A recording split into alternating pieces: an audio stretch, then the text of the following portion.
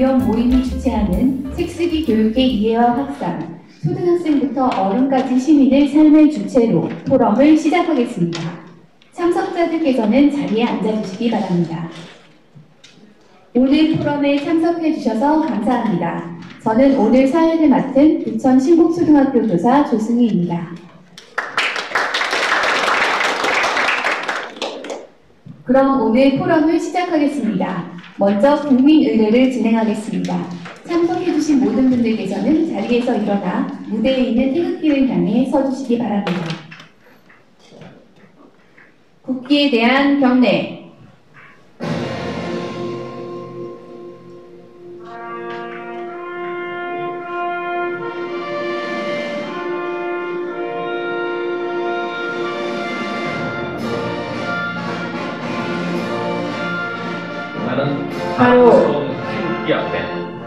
자유롭고 정의로운 대한민국의 무궁한 영광을 위하여 충성을 다할 것을 굳게 다짐합니다.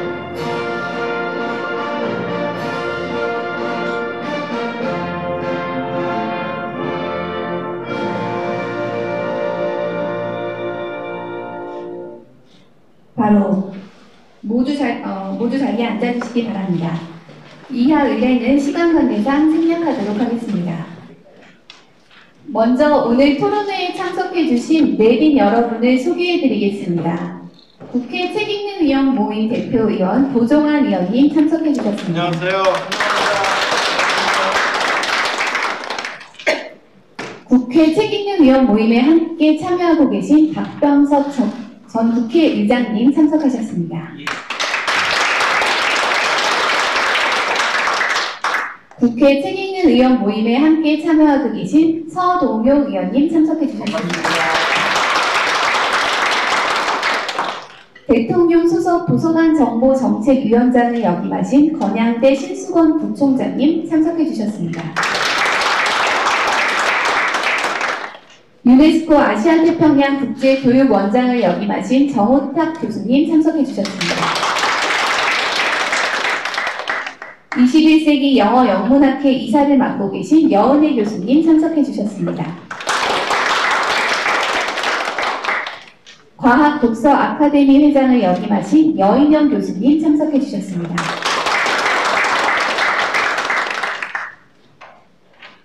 네, 그럼 먼저 어, 도종환 의원님의 개회사로 오늘 포럼의 문을 열어보도록 하겠습니다. 힘찬 박수로 반겨주시기 바랍니다. 여러분 반갑습니다. 국회를 찾아와 주셔서 고맙습니다. 어, 국회 예, 바깥에서 볼 때는 들어오기 쉽지 않은 공간처럼 생각을 하시는 분들도 있지만 어, 와보시면 꼭 그런 곳은 아닙니다.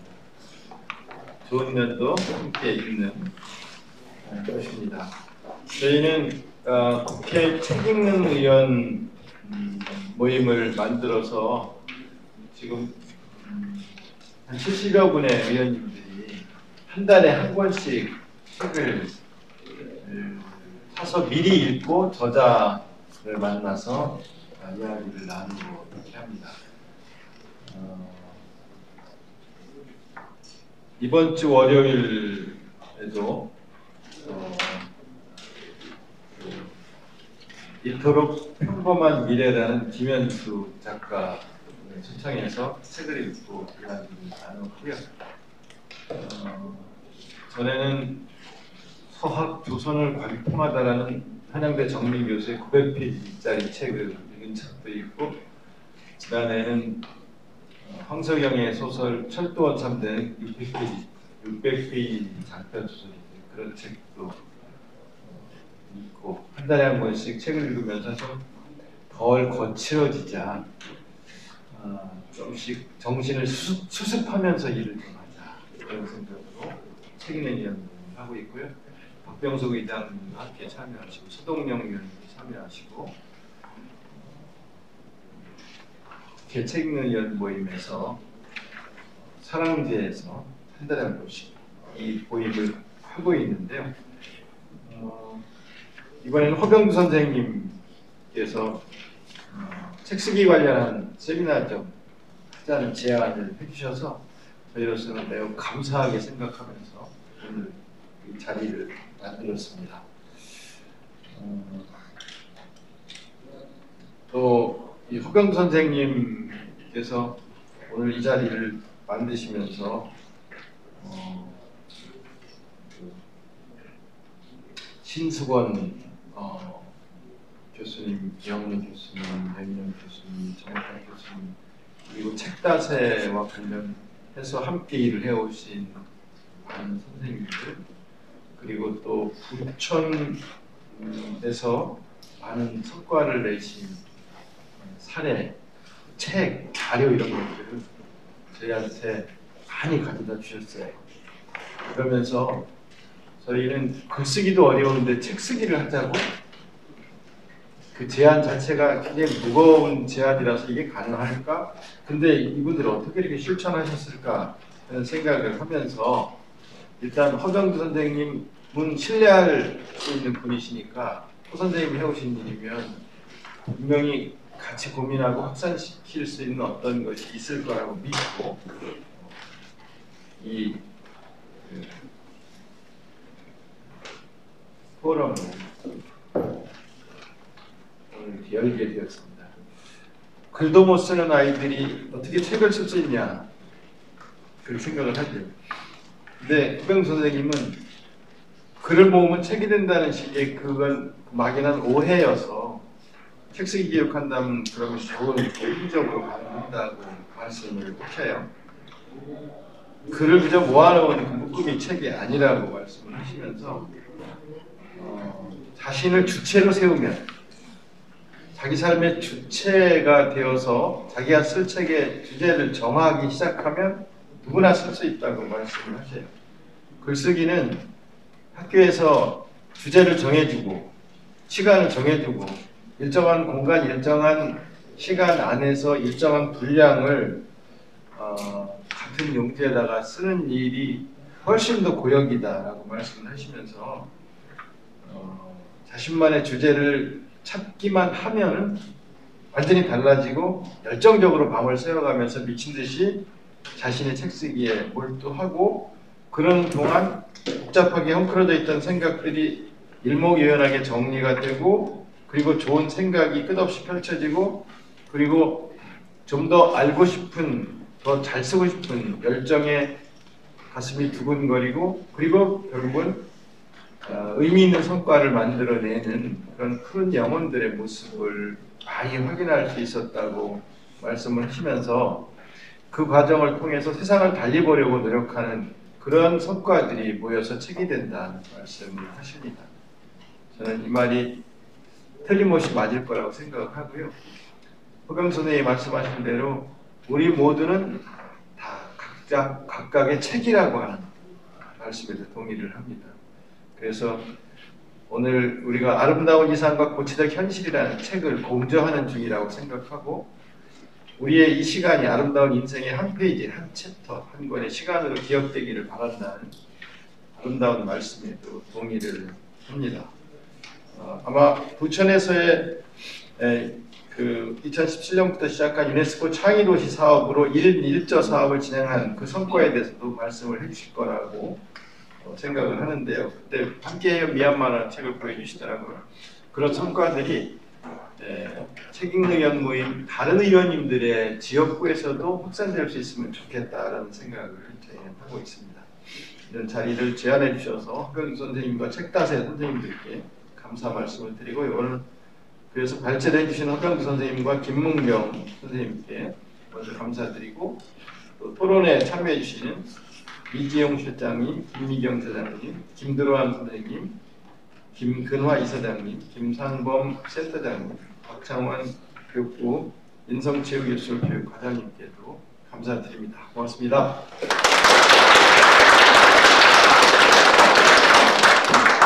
네, 감사합니다.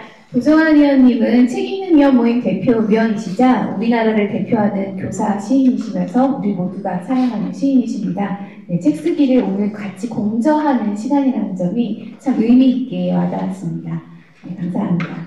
어, 이어서 국회 책 읽는 위원 모임에 함께 참여하고 계신 박병, 박병석 전 국회의장님의 어, 말씀, 인사 말씀 부탁드리겠습니다.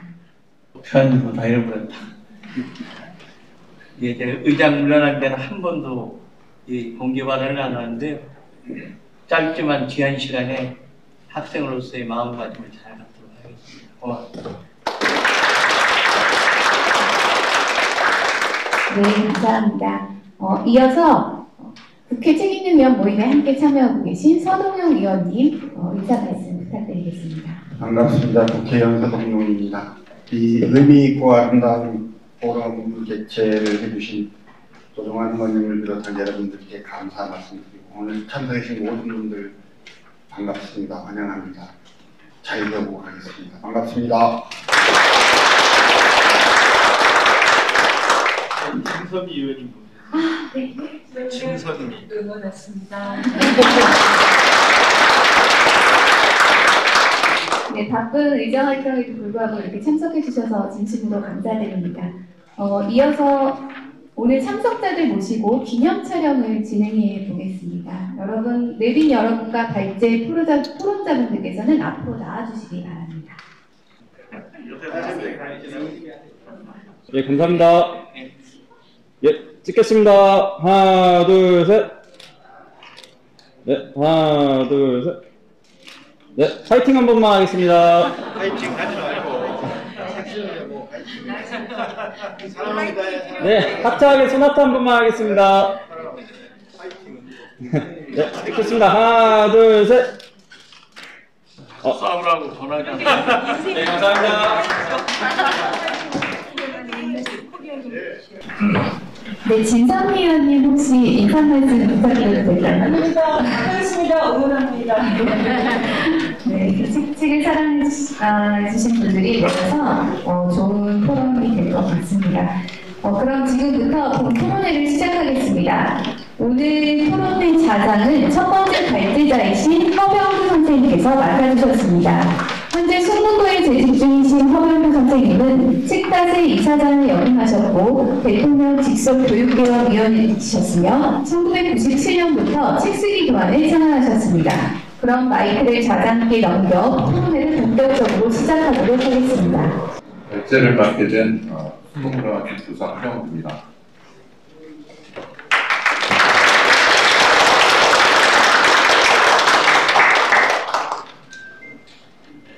어, 오늘 이렇게 귀한 자리를 만들어 주신 조종환 의원님 그리고 어, 박병석 의장님 그리고 여러 그리고 여기 내빈으로 와주신 재은사님 신수건 교수님을 비롯해서 어, 여기 계신 많은 그 귀하신 분들 그리고 또 여기에 응원하러 와주신 저의 시민 제자들 여러 어, 분들 모시고 어, 이렇게 이런 자리를 마련하게 돼서 대단히 반갑습니다. 이 자리에는 아, 제가 고등학교 때 가르쳤던 학생도 지금 50이 넘은 학생도 와 있네요. 네, 지금 어, 학교 선생님들은 지금 평일이기 때문에 어, 여기에 오실 수가 없습니다. 그래서 저는 마침 어, 수업, 아, 시험 첫날이기 때문에 특별히 얘기하고 있었고요. 어, 여기 오시게 된 여러 선생님들께 거듭 감사의 말씀을 드리겠습니다. 우선 시간이 없으니까 빨리 진행을 하겠습니다. 저는 50분 수업에 체화되어 있어서 항상 얘기하면 50분씩 하기 때문에 되도록이면 좀 빌리려고 어, 파워포인트를 보면서도 제가 10가지를 핵심을 좀 강조하고자 했는데요. 첫 번째가 지금 부정환 의원님 말씀하신 쓰기라고 하는 것이 과연 이렇게 어렵느냐 하는 것입니다. 어, 그러니까 힘은 더 드는데 더 쉽다고 보시면 됩니다. 그래서 저는 더 많은 교육들이 전부 시민 책쓰기 학생들도 예비 시민을 하면서 시민 책쓰기 교육으로 갈 때 왼쪽에 있는 많은 또 어떤 교육에 어떤 경우에는 어, 하나하나 만들어도 다 중요하겠지만 더 모든 것들이 다 한꺼번에 시민 책쓰기 교육으로 귀결될 수 있고 다시 새로 시작할 수 있다고 생각합니다.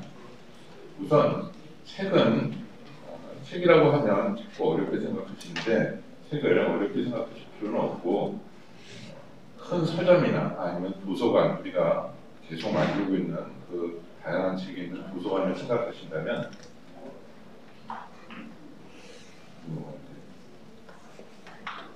네. 왜 이렇게 어, 생각하신다면 지금 프로슈머의 어떤 시대라고 보통 얘기를 하고 있고요. 이건 이제 어, 포플러가 예전에 얘기했던 프로슈머 시대를 예측한 것인데요. 그것을 다시 한번 보자면 이제 어, 우리는 이런 식으로 생각할 수가 있는 것이죠. 그래서 따뜻한 창조자라고 하는 점에서는 출판과 독자와 저자가 모두 다 모일 수 있다는 것이고요. 여기서 이 어, 출판은 책만, 그러니까 종이책만을 얘기하지는 않습니다. 요즘은 사람책 개념까지 와 있기 때문에 우리 자신들이 전부 한국 어, 한권의 어, 책이다. 또 우리가 사는 이 세상도 한권의 책이다라고 볼 수 있는 은유적인 차원으로까지 확대해서 생각해 주시면 좋겠습니다. 다 이제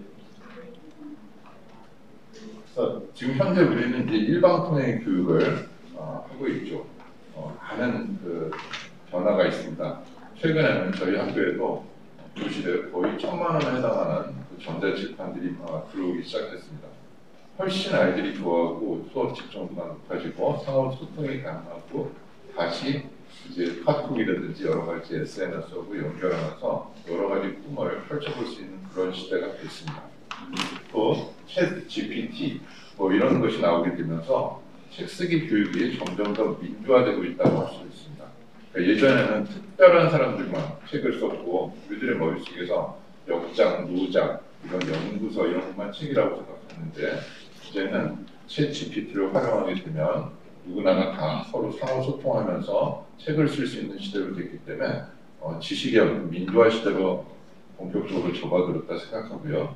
어, 혹자는 이제 이것을 굉장히 두려워해서 표절하면 어떻게 되냐 하는데 누구나가 다챗 GPT를 쓰는 이상은 누구나가 다 서로 상호 검증 가능하고 서로 적극적으로 비판을 할 수 있기 때문에 저는 학교의 토론 수업들도 챗 GPT를 활용하는 것이 훨씬 더 효과적이라고 봅니다. 또 그렇게 실제로 진행하고 있기도 합니다.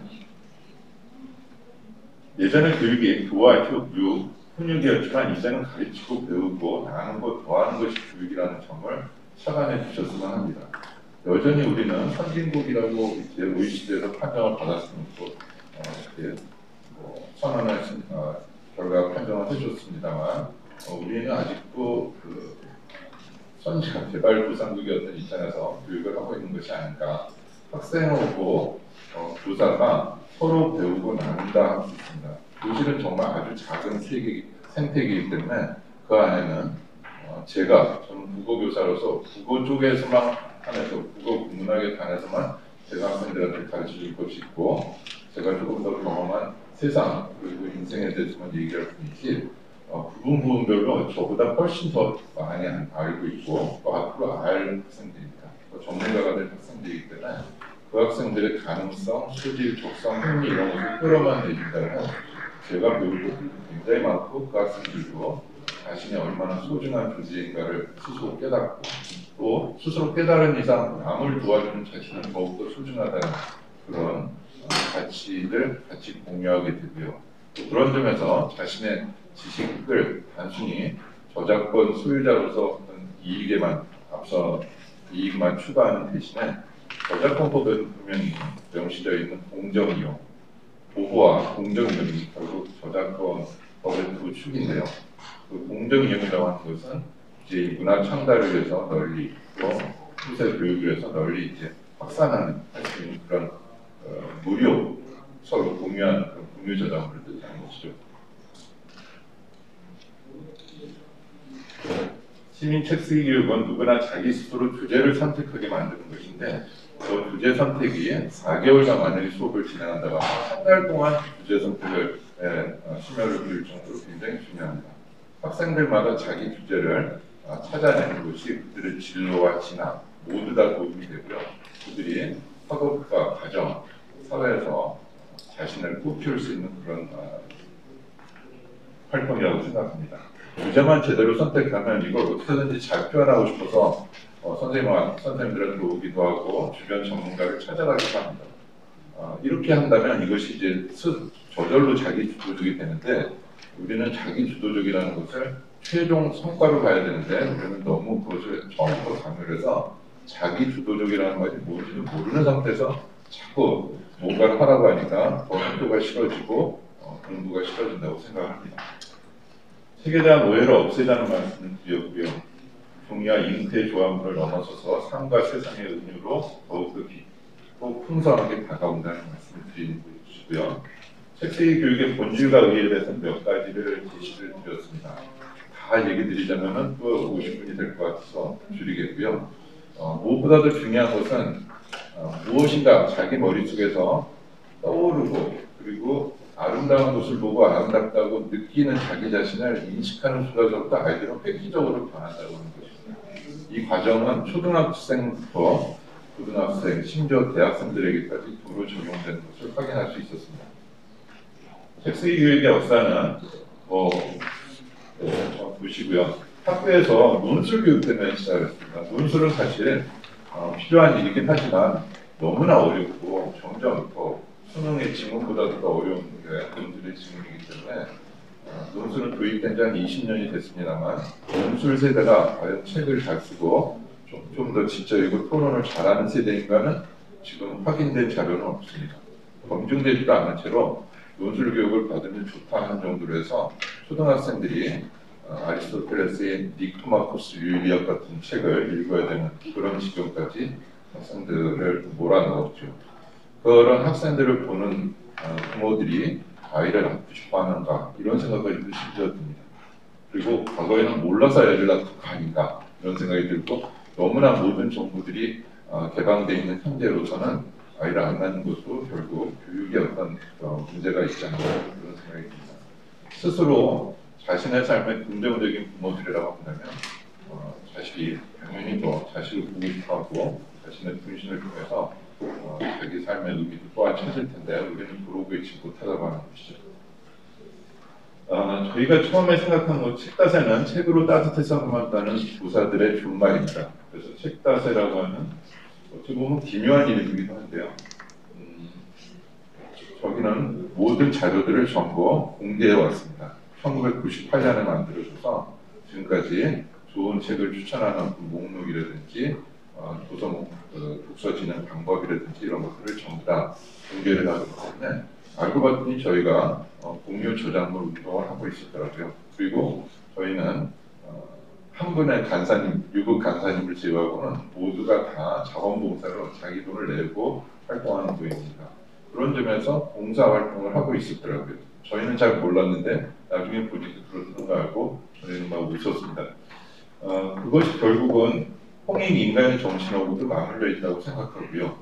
그리고 한글 정신, 애민 정신, 실용 정신, 주치 정신이라는 것하고도 맞물려 있다고 생각해서 어, 책다세 이 선생님들 절반과 책다세를 사랑해 주시는 어, 제 은사님을 비롯한 여러분들이 출사를 하셔서 더나 더나라고 하는 더하고 나눔이라고 하는 더나 더나를 약자로 만들어서 어, 한글 문화를 활성화하자는 실제 카페를 어, 신촌에 만들어서 지금 9년째 화, 어, 활동을 하고 있습니다.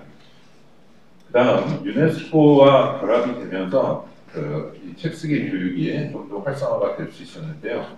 그 유네스코 부천이 유네스코 문학 창의 도시가 되겠다고 하면서 뒤늦게 이제 파주 출판 도시와 경쟁을 하면서 음, 책쓰기 교육을 시민 책쓰기 교육을 좀 해주시면 어떻겠느냐는 의뢰가 저한테 왔고요.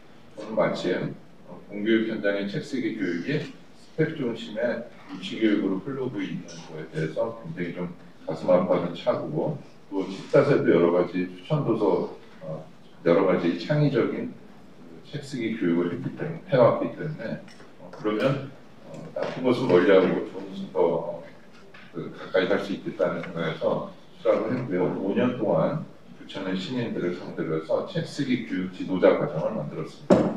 그리고 1인 1조라고 하는 이름으로 지금까지 운영하고요. 그중 절반 되시는 분들이 수료자의 절반 되시는 분들이 부천 유네스코 어, 문학 창의 유네스코 문학 창의 도시 유네스코 어, 책쓰기 교육 연구회를 만들어서 지금 활동을 하고 있고요. 여기에 들어와 있습니다. 자 그런데 이제 문제는 그, 이 부천시가 유네스코 문학 창의 도시를 도시로 활동을 하면서 뭐 어느 사업도 그렇겠지만 어느 정도 되다 보니까 이게 부천시 안에서만 지금 갇혀 있는 유네스코 사업으로 거 아닌가 하는 생각이 들어서 이걸 좀 더 많은 어, 지자체에서 활성화했으면 좋겠다는 생각이 들고요. 처음부터 사실 유네스코 어, 창의도시 사업의 처원 취지는 어, 유네스코를 기반으로 해서 우리나라 교육을 어, 세계로 예, 전파를 해보자. 다른 건 다 있는데 왜 교육할 일만 없을까? 홍익인간이라는 교육 이념과 국가 이념을 갖고 있는 우리나라에서 왜 어, 교육할 이유가 없는가? 또 거꾸로 얘기하면 바로 우리의 교육 이념과 국가 이념인 홍익인간 제세 이화 때문에 그 덕분에 어, 지금의 한류가 이렇게 된 건 아닌가? 또 그렇게도 생각을 해봅니다.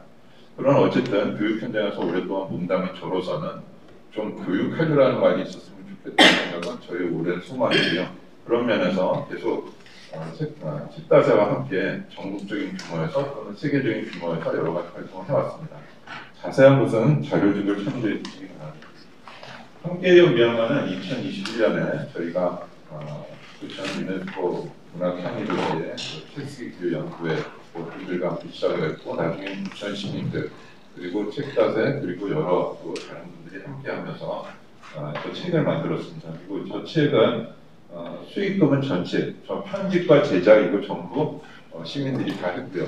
그리고 다만 판매를 해서 그 수익금 전액을 미얀마로 보내야 되는데 어, 출판사 이런 그 등록이 안 돼 있는 상태라 판매를 할 수가 없었기 때문에 어, 출판사에 판매 대행을 좀 맡긴 것 정도 그 경비를 제외하고는 전액이 지금 어, 출판 그 미얀마로 가고 있습니다. 아직 어, 여분이 조금 잔액이 좀 남았는데 그것도 또한 보내려고 합니다. 그리고 이 학교형 미얀마의 사례들이고요. 그리고 이게 봉사활동하고도 연결될 수 있었습니다.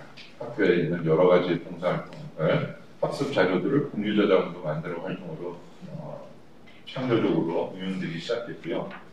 그다음에 책 교육의 발전 사례, 책으로 떠나는 세계 여행인데 코로나 있기 전에 어, 이거는 책과 책을 읽으면서 책으로 떠나는 세계 여행을 했는데 저기 있는 것을 보시면은 어, 보통의 독후감 대회는 몇 권의 책들을 놓고 그거 읽고 독후감을 써야만 되는 건데 이거는 자기가 책을 읽고 어, 문학 지도를 만들어서 제시하는 거였습니다. 한 120명 정도가 참여해서 한 4,300명 정도 되는 그 여행 가상의 여행입니다. 가상의 책 여행가 어, 들어왔고요. 그러면서 우리가 얼마나 많은 세계 문학에 어, 또 어, 지금 열려 있는가 하는 생각도 했습니다. 주로 우리나라는 일본을 통한 중역판 세계 문고를 접한 세대가 많았는데 이제는 바뀌고 있는 자연스럽게 세계화 되는 것도 있고요. 이분들은 일부 표절작을 제외하고는 전부 모아서 공유 저작물로 역시 만들어서 모두가 다 저자가 되는 그런 기쁨을 남겨주었습니다. 그리고 봉사활동이 일저자 공개운동을 하는데요. 어, 이곳 아, 거의 한 100여 분 정도가 97년, 아, 2007년에 진행을 했고요. 지금 이거는 계속 책다세가 추구하고 있는 활동입니다. 마을의 공동운동처럼 자기 책의 한 권 이상을 어, 누구나 읽을 수 있게 전자책으로 공개하자는 활동이고요. 이런 활동을 하는 사례들이 굉장히 많더라고요. 구텐베르 프로젝트 같은 것도 있고 어, 일본의 아오조라는 것도 있고요. 굉장히 다양한 어, 활동들이 있어서 우리가 좀 더 확신을 갖고 추진할 수 있었습니다. 그리고 이게 낙서 열전이라고 하는데 이게 음, 공유 저작물 제56호입니다. 공유 저작물 제1호는 안익태 선생님의 애국가입니다. 어, 저와 수능고 학생들이 만든 2008년에 만든 책인데요. 어, 이것을 지금 우즈베키스탄 어, 학생들에게 우즈벡 언어로 바꾸고 저거를 국제적인 그런 책으로 만들어서 매년 전 세계 어, 학생들이 어, 저는 낙서들을 같이 더하면서 마치 구비문학처럼 계속 쌓이는 해마다 세계 어, 연감이 만들어지듯이 계속 쌓이는 그런 책을 좀 만들어 보면 어떨까 하는 생각을 합니다. 어, 지금 한 7개국 언어 정도로 번역이 돼 있고요. 10개국 언어가 번역이 되면 음, 저거는 계속 이제 국제적인 책으로 만드는데 번역하기 어려운 말들이 있는데 처음에는 어떻게든지 번역을 하다가 그냥 한글로 저는 두기로 했습니다. 왜냐면 한글 문화 확산이라는 생각에 이루어진 것이죠. 자, 내용들입니다. 그런 식으로 러시아어로 번역되고 태국어로 번역되고 중국어로 번역됐습니다. 그리고 어, 저희가 하는 그 공유자전거 운동은 한국 저작권위원회하고 같이 연계해서 진행되는 사업이었습니다. 지금 사업이고요. 아래 책수교육 발전 사례 지도자 육성 이 시민 작가 배출에 대한 사례입니다. 자세한 내용들은 역시 자료집을 참고해 주시면 좋겠고요. 더 구체적인 사례들은 어, 저 다음에 발기자인 김은경 선생님께서 해주시겠습니다. 어, 이렇게 많은 책들을 저희가 직접 쓰고 스스로 도와드렸습니다. 그리고 앞으로 더 많은 책들이 뒤에 계속 앞으로 계속 튀어나가고 생각합니다. 아, 책쓰기 교육의 사례들을 아, 몇 가지 제시를 해봤습니다. 같이 관심 있게 좀 봐주시고 역시 하나하나 다 얘기 드리자면 끝도 한도 없을 것 같아서 제가 말씀을 못 드리겠고요. 중요한 것은 이러한 시민들의 또 교육 현장의 그런 노력들을 어, 행정적인 정책으로 뒷받침해 주시고 국회 차원에서 국가 법적인 법령의 차원에서 지원을 해 주신다고 한다면 진정한 의미의 민관 거버넌스가 될 수 있다고 생각을 하고요. 이 사례는 지금 유네스코를 통해서 어, 환경부 유네스코 한국위원회 총장님께서 어, 저한테 처음 제안해 주신 분이기도 하지만 그분께서 유네스코에서 계속 자랑을 하신다고 하십니다. 어, 제 꿈은 어, 이 유네스코 어, 활동을 하신 이 분들 중에서 한 분이 어, 진짜 국제 어, 유네스코에 나가셔서 어, 발표를 하는 것입니다. 그걸 제가 보는 겁니다. 제가 발표한 어, 욕심은 없고요. 어, 그분들이 발표할 수 있도록 하는 것이 제 꿈이고요. 이런 꿈들은 제 제자들, 학교에서 가르치는 어, 가르친 제자들 그리고 어, 어, 지금 이 시에서 가르치고 있는 이런 활동을 통해서 어, 제가 만나 뵙게 됐던 저보다 선생님들이시 각 분야에서 저보다 선생님들인데 저는 훈장님으로 불리고 있고 저는 그분들을 선생님으로 불리는 시민 제자들을 통해서 더더욱 확산될 수 있다고 생각합니다. 저희들이 지금까지 어, 그냥 고군분투 몇 사람들이 힘을 합쳐서 모아온 성과들을 어, 의원님들께서 그리고 또 교육에 또 귀한 걸음을 해주신 박찬범 관장님께서 좀 깊이 그리고 자세히 들여다보시면 훨씬 더 좋은 결과를 가져갈 수. 어, 여러 가지 얘기를 어, 지금까지 어, 해드렸습니다. 모든 것들은 저희가 몇 가지 사례들을 더 덧붙여 놨으니까요. 오늘의 어, 역시 요즘 뭐 국제 바칼레리아를 도입한다고 하는데 어, 여기에 도입되는 거에 100분의 1만 여기에 그 지원을 해주셔도 IB라고 하는 국제 바칼레리아에 100분의 1만 지원해 주더라도 국제 바칼레리아 그 도입보다 훨씬 더 큰 성과를 어, 낼수 있다고 어, 자신합니다. 그래서 모두 시민 특수기구를 모아, 모아지는 날을 같고요. 어, 마지막으로 이제 마무리 말씀을 드리고 싶습니다. 어, 1377년에 제10제 어, 그 요절이 발간이 됐습니다. 최초의 금속 활자본이죠. 그리고 이 어, 직지심취 요절의 가장 금, 어, 기본 메시지는 어, 직지 어, 직지 시민 그리고 어, 견성 경불입니다. 아, 성, 아, 견성 성불 이렇게 되는데요. 여덟 글자인데 스스로 주체가 되면 스스로 어, 그 마음을 가져보면 그러면 부처가 될 수 있다는 것입니다. 결국 저는 책 쓰기 어, 교육의 주저 어, 그 본질과 똑같다는 생각이 듭니다. 그리고 저 자신이 생각한 것이 아니라 제가 확인했고 또 이러한 DNA들 홍익 인간과 직지의 어떤 정신들 어, 널리 세상을 이롭게 해놓고 스스로 주체가 되는 일, 이들 사이에 그런 관계를 어, 교육적으로 확인하고 삶 속에서 즐겁게 어, 지금 확인하습니다. 어, 이, 부, 이 부 분에 대해서 선생님들께서 같이 고민해 주시고 도와주시면 함께해 주시면 고맙겠습니다. 이걸로 마치겠습니다.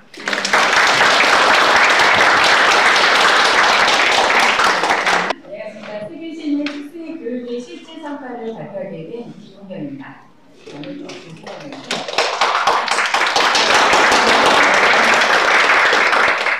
저는 부천 유네스코 책쓰기 교육 연구의 회원이기도 하고요. 전 사무국장이기도 합니다. 사무국장인 저때 책태어났고요. 그리고 지금 현재는 책가게 운영 등으로 신입부로 활동하고 있고요. 1일에서 책쓰기 강사로도 활동하고 있고 그리고 평생 교육사로서 현재 평생 교육을 공부하고 있기도 합니다. 그리고 마을에서 강사 활동을 하고 있습니다. 여러 가지 직함이 있습니다. 하나는 없어요. 엔전전입니다. 자, 제가 발표할 내용은 세 가지 부류로 나눠집니다. 첫 번째, 책 쓰기로 사람책이 되다. 두 번째, 책 쓰기로 새로운 길을 찾다. 두 번째, 세계 시민 책 쓰기로 함께하다를 전해드리도록 하겠습니다. 책 쓰기로 사람책이 되다. 아, 이게 무슨 말일까 하실 수 있어요. 하지만 1인 1적 책 쓰기를 하신 분들은 다 공감을 하실 문장인데요. 1인 1적 사업은 부천 유네스코에서 문학차기 도시를 만들기 위한 사업으로 구성된 사업이었습니다. 저희는 몰랐는데 5년 계획이었다고 하더라고요. 그래서 저희가 2018년부터 2022년까지 총 1기에서 5기까지 수료를 했고요. 그리고 지금 잠정 쉬고 있습니다. 언제 될지 모르겠는데요. 그래서 저희 1인 회전 강사님들이 1인 회전 책쓰기 지도자 양성 과정 수료자들이 현재 107명에 이르고 있고요. 1인 회전 사업을 통해 대출된 신인 작가가 425명이 됩니다. 왜 이렇게 수료자는 107명인데 왜 신인 작가가 400, 어, 25명이 될까요? 궁금하시잖아요. 이거는 양성된 과정에서 강사가 배출된 그 교육을 통해서 시민작가도 배출하게 됩니다. 그래서 400, 어, 425명이 되었고요. 1인적 사업을 통해 제작된 책은 몇 권이냐 보시면 526권이면 됩니다. 왜냐면 저희가 각 관내 중학교, 그다음에 지역아동센터, 그리고 어, 어르신 대상으로 저희가 하게 되는데요. 1인 1점, 한 사람이 하나를 만들어내는 부분인데요. 공저를 하시는 분도 계시고요. 한 권을 만드신 분도 있으세요. 그래서 권수가 좀 상향에 다르고 하고, 하고 있기도 하고요. 상금도서관에서 저희 양성 과정을 수료하시는 그 강사님들이 하지 않고 다른 신인 작가를 모셔서 강의를 하는 경우가 있기 때문에 이게 좀 발생할 수 있습니다. 526번이면 좀 많지 않을까요? 네, 저희가 접수하는 수가 좀 다르거든요. 그러면 1인 1적 강사대 자유학기제 실시한 중학교는 몇 주냐? 저희가 들어갈 수 있는 그 기관이 자유학기제를 통해서 저희가 교육을 가능합니다. 이것 또한 학교에서 문의가 함께 그 상경도서관에서 지원되는 학교만 선정되는 학교만 가능한데요. 어, 보시게 되면 2019년에는 8명에서 8학교를 갔고요. 그리고 2020년 보시게 되면 12명 강사에 23곳 점점 늘어나고 있습니다. 보시게 되면 2022년에 조금 더 늘어서 30곳은 늘어났는데 강사 대비 그 학교가 많이 늘지는 않았다는 걸 보실 수 있을 거예요. 그래서 이거로는 생기는 뿌리지 못하고 있고요. 저처럼 멘탈러로 활동하고 있습니다. 그렇다면 1인 1저가 왜 중요한가? 음, 저희들은 그 국어 전공이 아니라 그리고 문해창작자 전공이 아닙니다. 일반 분들이 1인 1저 책쓰기 양성 과정을 통해서 강사가 되는데요. 그렇다 보니까 어, 요즘 진로 담당가가 유행인 거 아시나요? 아시죠? 그리고 그 교사님들의 진로 담당적으로 담당 적으로 전가하시는 것도 아시나요? 행정적으로 힘드셔서 들어가시는데요. 저희가 다양한 경험을 가진 강사로서 책 쓰기의 노별은 사람책이 됩니다. 그래서 아이들한테 각각 미디어 강사하시는 분은 미디어하고 책 쓰기를 융합화를 하시고요. 저 같은 경우는 심리 상담을 하기 때문에 심리 상담은 융합화해서 아이들한테 전달하게 됩니다. 그렇다 보니까 글쓰기, 책쓰기, 자료조사, 발표 능력, 그 긍정적인 변화에서 다양한 변화를 갖고 오는데요. 그 글쓰기에서 가장 많은 변화를 갖고 있다고 학생들이 대답을 했습니다. 그리고 1일 대답서부터 가장 아쉬웠던 점을 보면 보이시나요? 나 자신이라고 나오겠습니다. 평소에 중학교 아이들이 대답을 잘 안 하고 자신에 대해 생각 이해가 없는데 책 쓰기를 하면서 나 자신을 자꾸 통보하게 됩니다.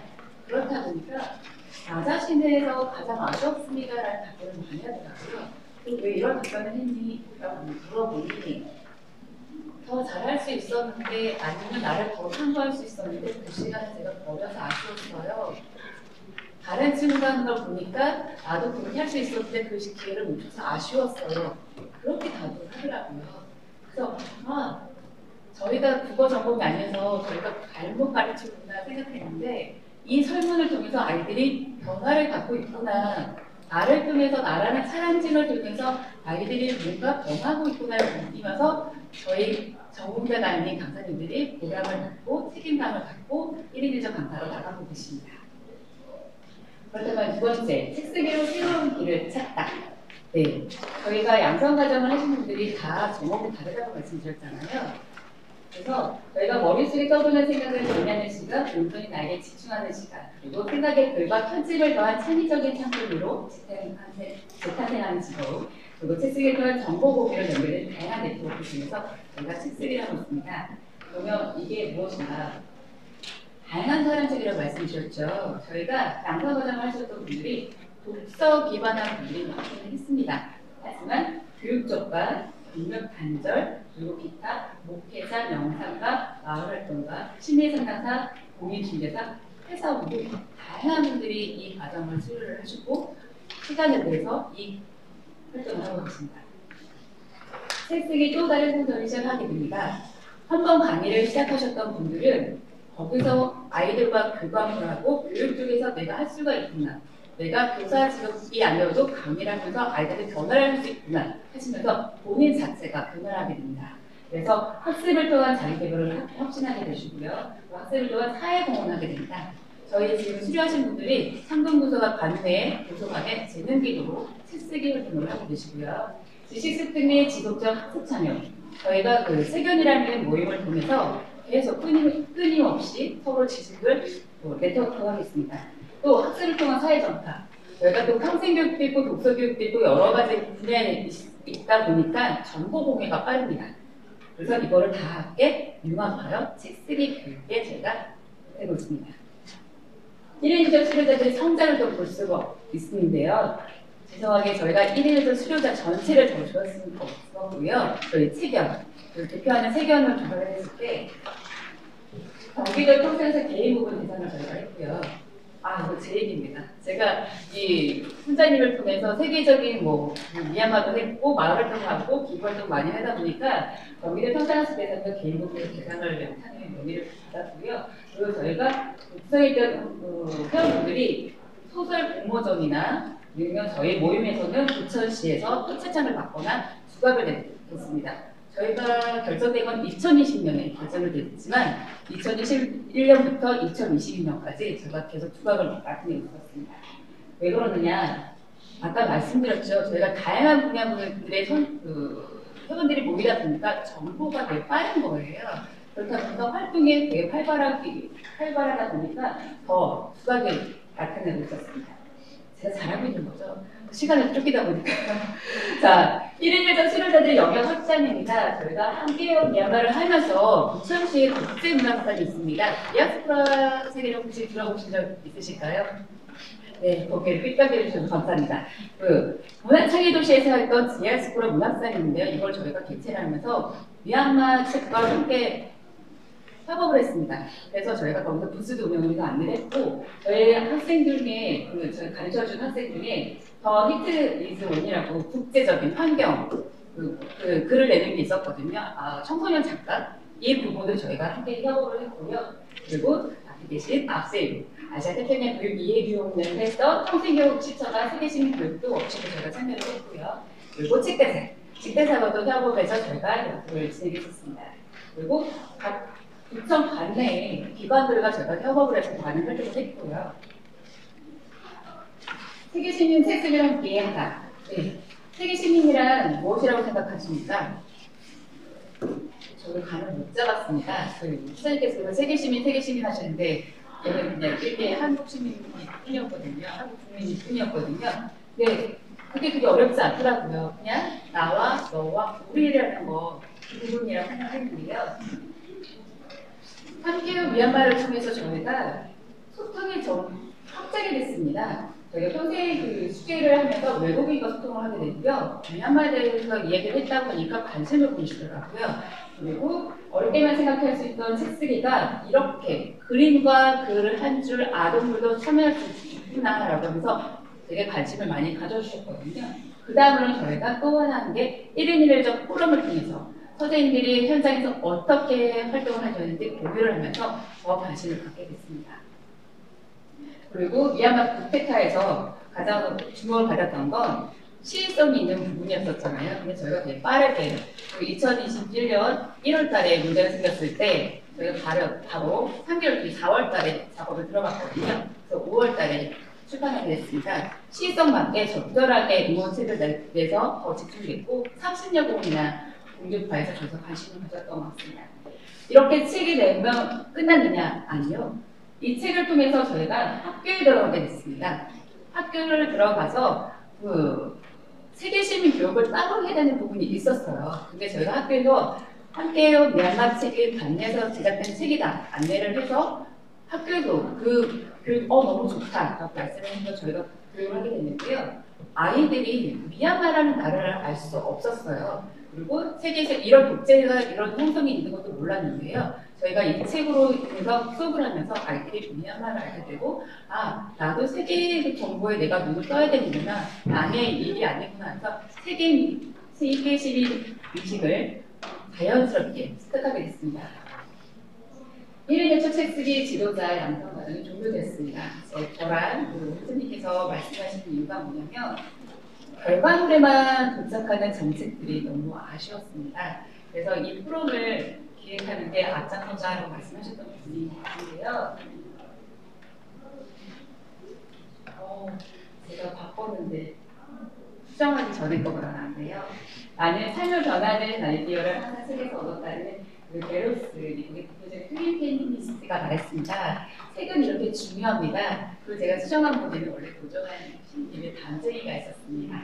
정책을 변화하고 정책을 유지하는 건 어렵습니다. 하지만 누군가가 이끄는 사람이 있다면 따라갈 수 있다고 생각합니다. 작은 힘이라고 앞장서 주는 분이 계시다면 변화를 이끈다고 생각됩니다. 그래서 여기 있는 국회의원분들과 각 기관분들이 도와주신다면 책쓰기와 책쓰기의 교육을 통해 그 새로운 변화를 쫓는 대한민국을 한번 꿈꿀 수 있지 않을까 하고 이렇게 기술을 준비했습니다. 들어주셔서 감사합니다.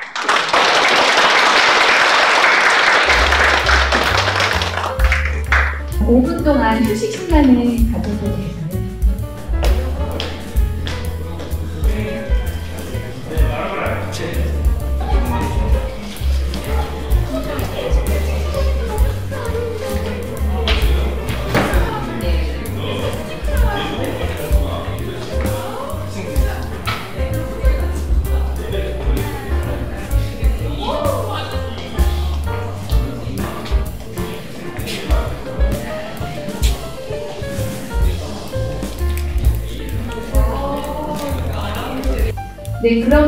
지금부터 토론을 진행하도록 하겠습니다. 어, 허병주 자장님께 어, 마이크를 넘겨드리도록 하겠습니다. 토론을 본격적으로 시작하도록 하겠습니다. 앞서서 제가 시간을 쫓겨서 그리고 또 제가 제 자신의 고질병을 잘 알기 때문에 어, 시간을 넘기지 않으려고 막 서둘렀습니다. 근데 이제 이 자리에서 이제 어, 제가 모신 그 프로자분들과 또 네이비 선생님들 또 그리고 이제 어, 함께 하셨던 그런 보반들 같이 공부하고 또 제가 배웠던 선생님들 이런 분들과 함께 이 자리를 어, 또 2부 그 좌장이 돼서 좀 반갑게 생각합니다. 그리고 무엇보다도 중요한 것은 앞서서 제가 조금 빠진 거를 한두 가지 얘기하자면 보통 전봇대 하나를 매설을 하면 그와 관련된 직업들이 무수히 많이 생긴다고 하죠. 전봇대를 만드는 사람, 거기다가 매설하는 사람, 거기에 또 관련되는 각종 기자재들을 만들어서 또 전선까지 매달고 하는 사람, 그리고 거기에 광고지 붙이는 사람, 광고지 떼는 사람까지 뭐 다 두루두루 많은 게 생긴다고 하는데 책 쓰기 교육을 하다 보면 어, 이런 관련되는 그 아주 양질의 어, 그 전문적인 일자리들이 많이 생겨난다는 것을 아까 김문경 선생님 발표에서도 확인을 하셨을 겁니다. 경력 단절된 분들이 다시 출판사에 복귀하기 하시고 또 작가가 되시기도 하시고 또 강사가 되시기도 하시고 또 연구자로서 활동도 하시고 어, 관련되는 여러 가지 또 출판사를 만들기도 하고 서점도 내시고 굉장히 다양한 모습들을 볼 수 있어서 굉장히 좋았습니다. 그리고 이런 것이 부천을 떠나서 또 부천을 벗어나서 다른 곳에서도 더 많이 좀 나왔으면 하는 뜻에서 토론자분들을 어, 섭외를 드렸고요. 어, 우선 토론자분들을 소개를 드리겠습니다. 어, 전체 소개해드리고 순서대로 발표를 부탁드리겠습니다. 이지홍 유네스코 아시아 태평양 국제이해교육원 연수실장님이십니다. 다음 김기경 책으로 따뜻한 세상 만드는 부사들 현 이사장이십니다. 이제 정년퇴임을 하신 김두관 선생님 참배운 연구소장입니다. 그리고 어, 마포 지역을 중심으로 정말 전국적인 활동을 많이 하신 어, 김근화 직업전략연구소 이사장님이십니다. 그리고 잠시 후에 줌으로 뵙게 될 어, 만나게 될 김상범 부천대 우즈베키스탄 종교 어, 캐리어 센터장 경영학과 교수님이 지금 어, 유튜브로 보시고 계시고 이제 잠시 후에는 어, 줌으로 만날 수 있습니다. 그리고 박창원 교육부 인성체육예술교육과장님 모시겠습니다.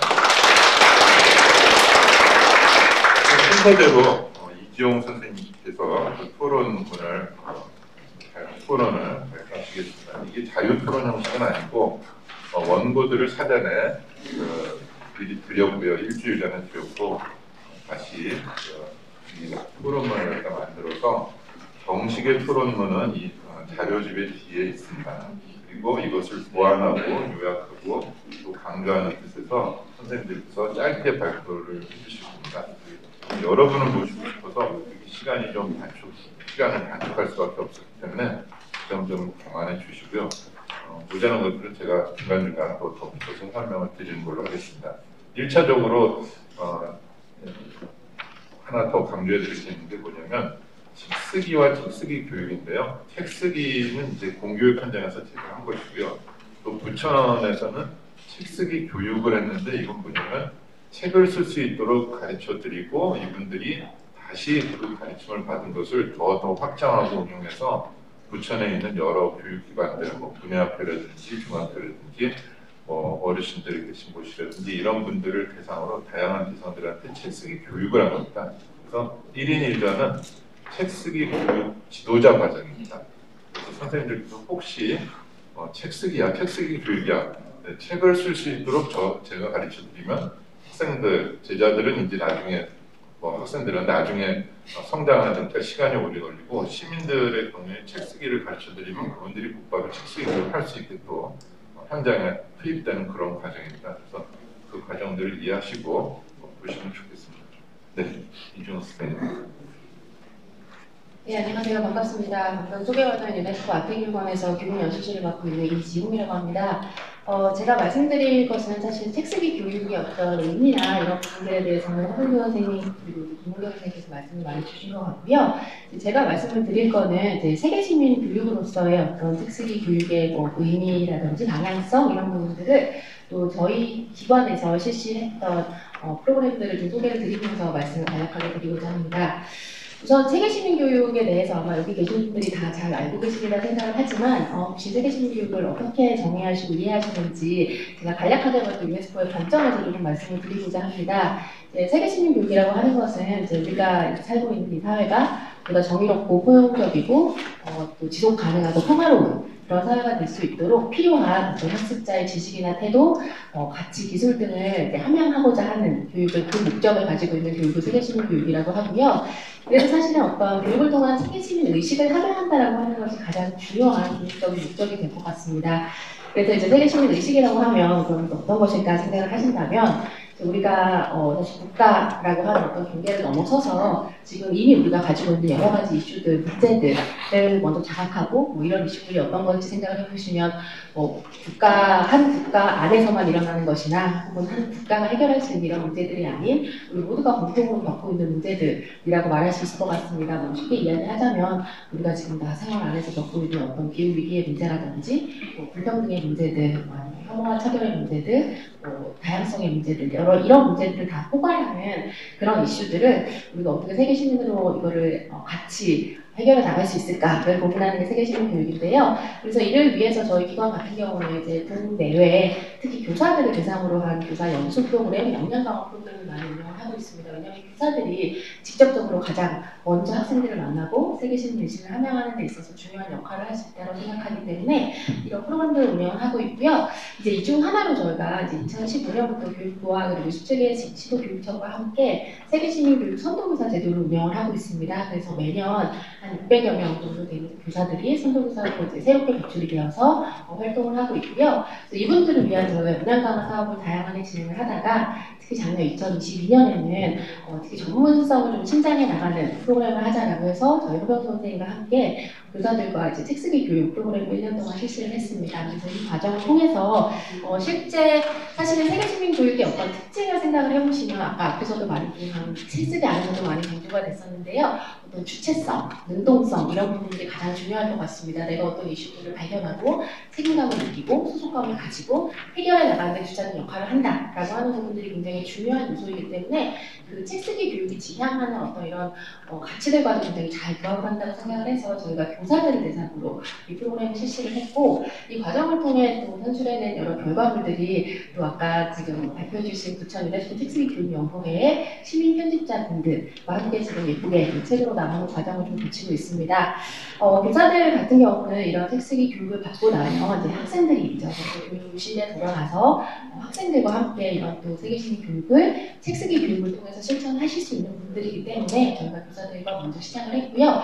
사실 저희가 이제 이 실시한 프로그램 외에도 이미 많은 뭐 세계시민 교육 선도교사 분들, 선도교사 분들이 아니더라도 세계시민 실천하고 계신 선생님들께서 책쓰기 교육 현장에서 학생들과 많이 진행을 하고 계십니다. 제가 사실 책을 한 권 이렇게 가지고 왔는데 이 책 같은 경우는 몇 년 전에 그 한 고등학교 선생님께서 그 세계시민 동아리 네, 고등학교 학생들과 같이 만들어낸 책입니다. 이게 뭐냐면 그 아프리카의 전통 이야기를 어, 학생들이 먼저 읽고 그 이야기들을 통해서 어떤 세계시민교육적인 가치들을 발견해 나가고 이런 가치들을 우리의 목소리를 다시 재해석해서 다시 전달하자라고 하는 그런 뜻을 가지고 책을 만들어낸 것인데요. 뭐 그림이라든지 또 다시 재구성하는 과정들, 영어로 쓰는 과정들까지 전부 이제 학생들이 진행해서 이렇게 책으로 뭐 만들어낸 이 결과물인데요. 이것도 한 예가 될 수 있을 것이고 사실 이, 사실 이 과정을 통해서 아까 선생님도 많이 얘기해 주셨지만 자기의 생각을 정리하고 또 내가 전하고자 하는 메시지들을 담아내고 또 사실은 책이라는 것은 이제 닫고 누군가에게 가서 읽혀질 때 사실 큰 의미가 있는 거잖아요. 그랬을 때 이 책을 읽는 사람들에게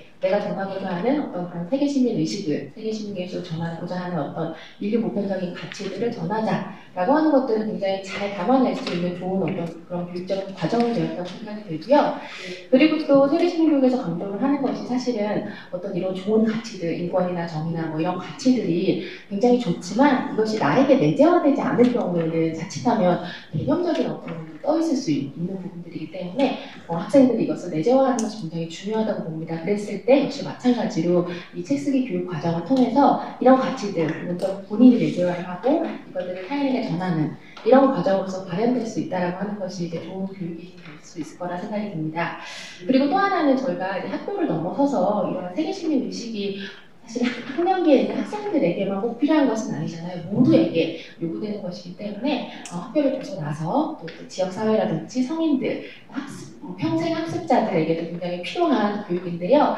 그 이제 일환으로 저희가 다양한 또 평생 학습자들, 뭐 성인들, 뭐 지역 사회에 계신 활동가분들을 대상으로 또 세계시민 교육도 실천을 하고 있습니다. 사실 아직까지는 이 책쓰기 교육을 저희가 시민들과 하지는 못했고요. 허경 선생님 하셨던 이런 과정들을 보면서 아 이런 과정들이 이제 시민들을 위한 세계 시민 교육 프로그램으로 또 자리를 잡을 수 있게 된다면 또 좋은 더 효과를 누릴 수 있겠다는 생각이 좀 들었습니다. 그래서 이 평생학습이 강조되고 있는 부분들은 아마 이미 다 잘 알고 계시겠지만 유엔의 지속가능 발전 목표 이제 교육 목표 4번을 보시더라도 거기 안에 양질의 교육 의 증진과 더불어서 평생학습의 증진이라고 하는 것이 굉장히 많이 강조가 되어 있고요. 특히 세부 목표 4.7 안에는 교육을 통한 세계시민 의식이 어, 함양이라고 하는 부분들이 강조가 되어 있는데 마찬가지로 이게 학생들뿐 아니라 평생 학습 차원에서 이루어져야 된다라고 명시가 되어 있습니다. 그래서 이런 지속가능 발전 목표를 이제 달성하는데 저희가 기여하기 위해서도 이런 평생 학습으로서의 어, 확산이 필요하다고 생각이 들고요. 저희가 또 희망하는 것은 지금 이제 교사들을 대상으로 했던 이 책쓰기 교육이 어, 전국으로 더 교사들 굉장히 많이 계시잖아요. 네, 많이 확산이 되면 좋을 것 같고 두 번째로는 평생 학습 차원의 또 새로운 모델로 또 자리를 잡게 되면 좋을 것 같다 생각을 좀 하고 있습니다. 네, 감사합니다. 그렇습니다. 아, 유네스코의 정신과 그 교육의 어떤 철학이라고 하는 것은 평생 교육 기반에서 지금 이정훈 선생님께서 말씀해 주신 그 지속 가능한 교육 그리고 4번 뭐 이런 7번 세부 목표 이런 것들이 다 두루두루 그 공교육하고 맞닿아 있습니다. 그래서 학교 현장의 교육이 어, 평생 교육으로 이어질 수 있는 토대를 우리는 책 쓰기 교육과 해보면 어떻겠느냐고 어, 차관하고 여러 가지 시도를 하고 부천의 어, 티변 수료자 중에서 몇 분에게 어, 그 유네스코 창의도시 어, 그 유네스코 활동하는 교사의 그 책을 편집해보는 그런 실험들을 지금 하고 있습니다. 그래서 이제 어, 새로운 어떤 그런 시도들을 계속할 수 있다는 점에서 유네스코가 어, 열린 귀로 그 눈, 눈으로 여러 가지 활동 들을 계속 그 도와주셔서 감사하게 생각하겠습니다. 자 그러면 그 다음에는 김미경 책으로 따뜻한 세상 만드는 교사들 어, 지금 있는 한국고등학교 선생님이시고요. 어, 이사장님 토론문을 어, 토론을 한번 들어보겠습니다.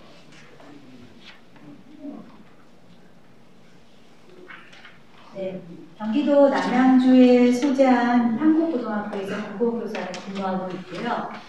어, 바람직한 청소년 일기 쓰기나 조성을 위해 연구- 연구하고 실천하는 기영이 사단법인인 책으로 따뜻한 세상 만드는 교사들 이사장으로 활동하고 있는 김희영입니다. 반갑습니다. 저는 초, 중, 고 공교육 현장에서 저와 책으로 따뜻한 세상 만드는 교사들이 실천한 사례를 바탕으로 책 쓰기 교육의 효과를 말씀드리고자 합니다. 우선 책 쓰기 교육은 무한대로 열린 읽기 쓰기 공간을 만들어냅니다. 주제가 따로 주어진 게 아니라 스스로 주제를 설정하기 때문에 가능한데요. 아, 따라서 학생들은 이 무한대로 열린 시공간 안에서 교과와 교과의 구분이라는 경계를 가로질러서 교과 통합적인 탐색을 아주 마음껏 하게 돼요. 어, 보통 우리 학교 현장에서는 주어진 지문을 얼마나 빠르고 정확하게 독해하는가 하는 거에 독서나 평가가 갇혀 있는 경우가 많은데요.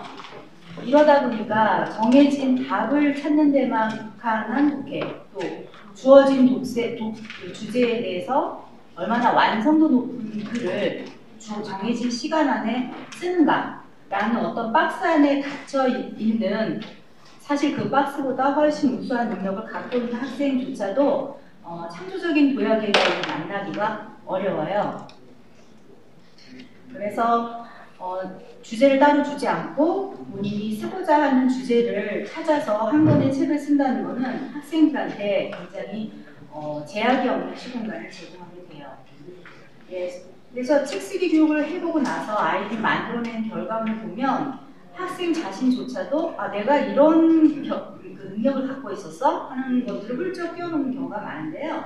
제가 이제 몇 개를 갖고 와봤는데 이런 책은 국어 시간에 쓸 수 있는 책이 사실 아니잖아요. 이런 책이라든지 아니면 이거는 되게 되게 근사한 근사한 제목인데 소설이에요. 아이가 쓴 타란이라는 이런 작품이라든지 역시 국어 시간에 쓸 수 있는 책은 아니죠. 인간형 로봇 휴머노이드.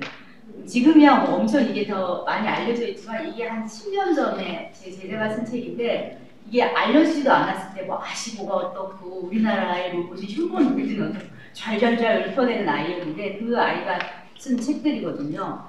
예. 그리고 두 번째로 책 쓰기 교육은 평소에 아 나는 꿈도 없는 아이야 라는 어떤 틀에 자신을 넣어둔 채 좀 자책감이라던가 위축감을 어느 정도씩은 안고 살아가는 많은 학생들한테 홈불 권리를 되찾아오는 효과가 있습니다.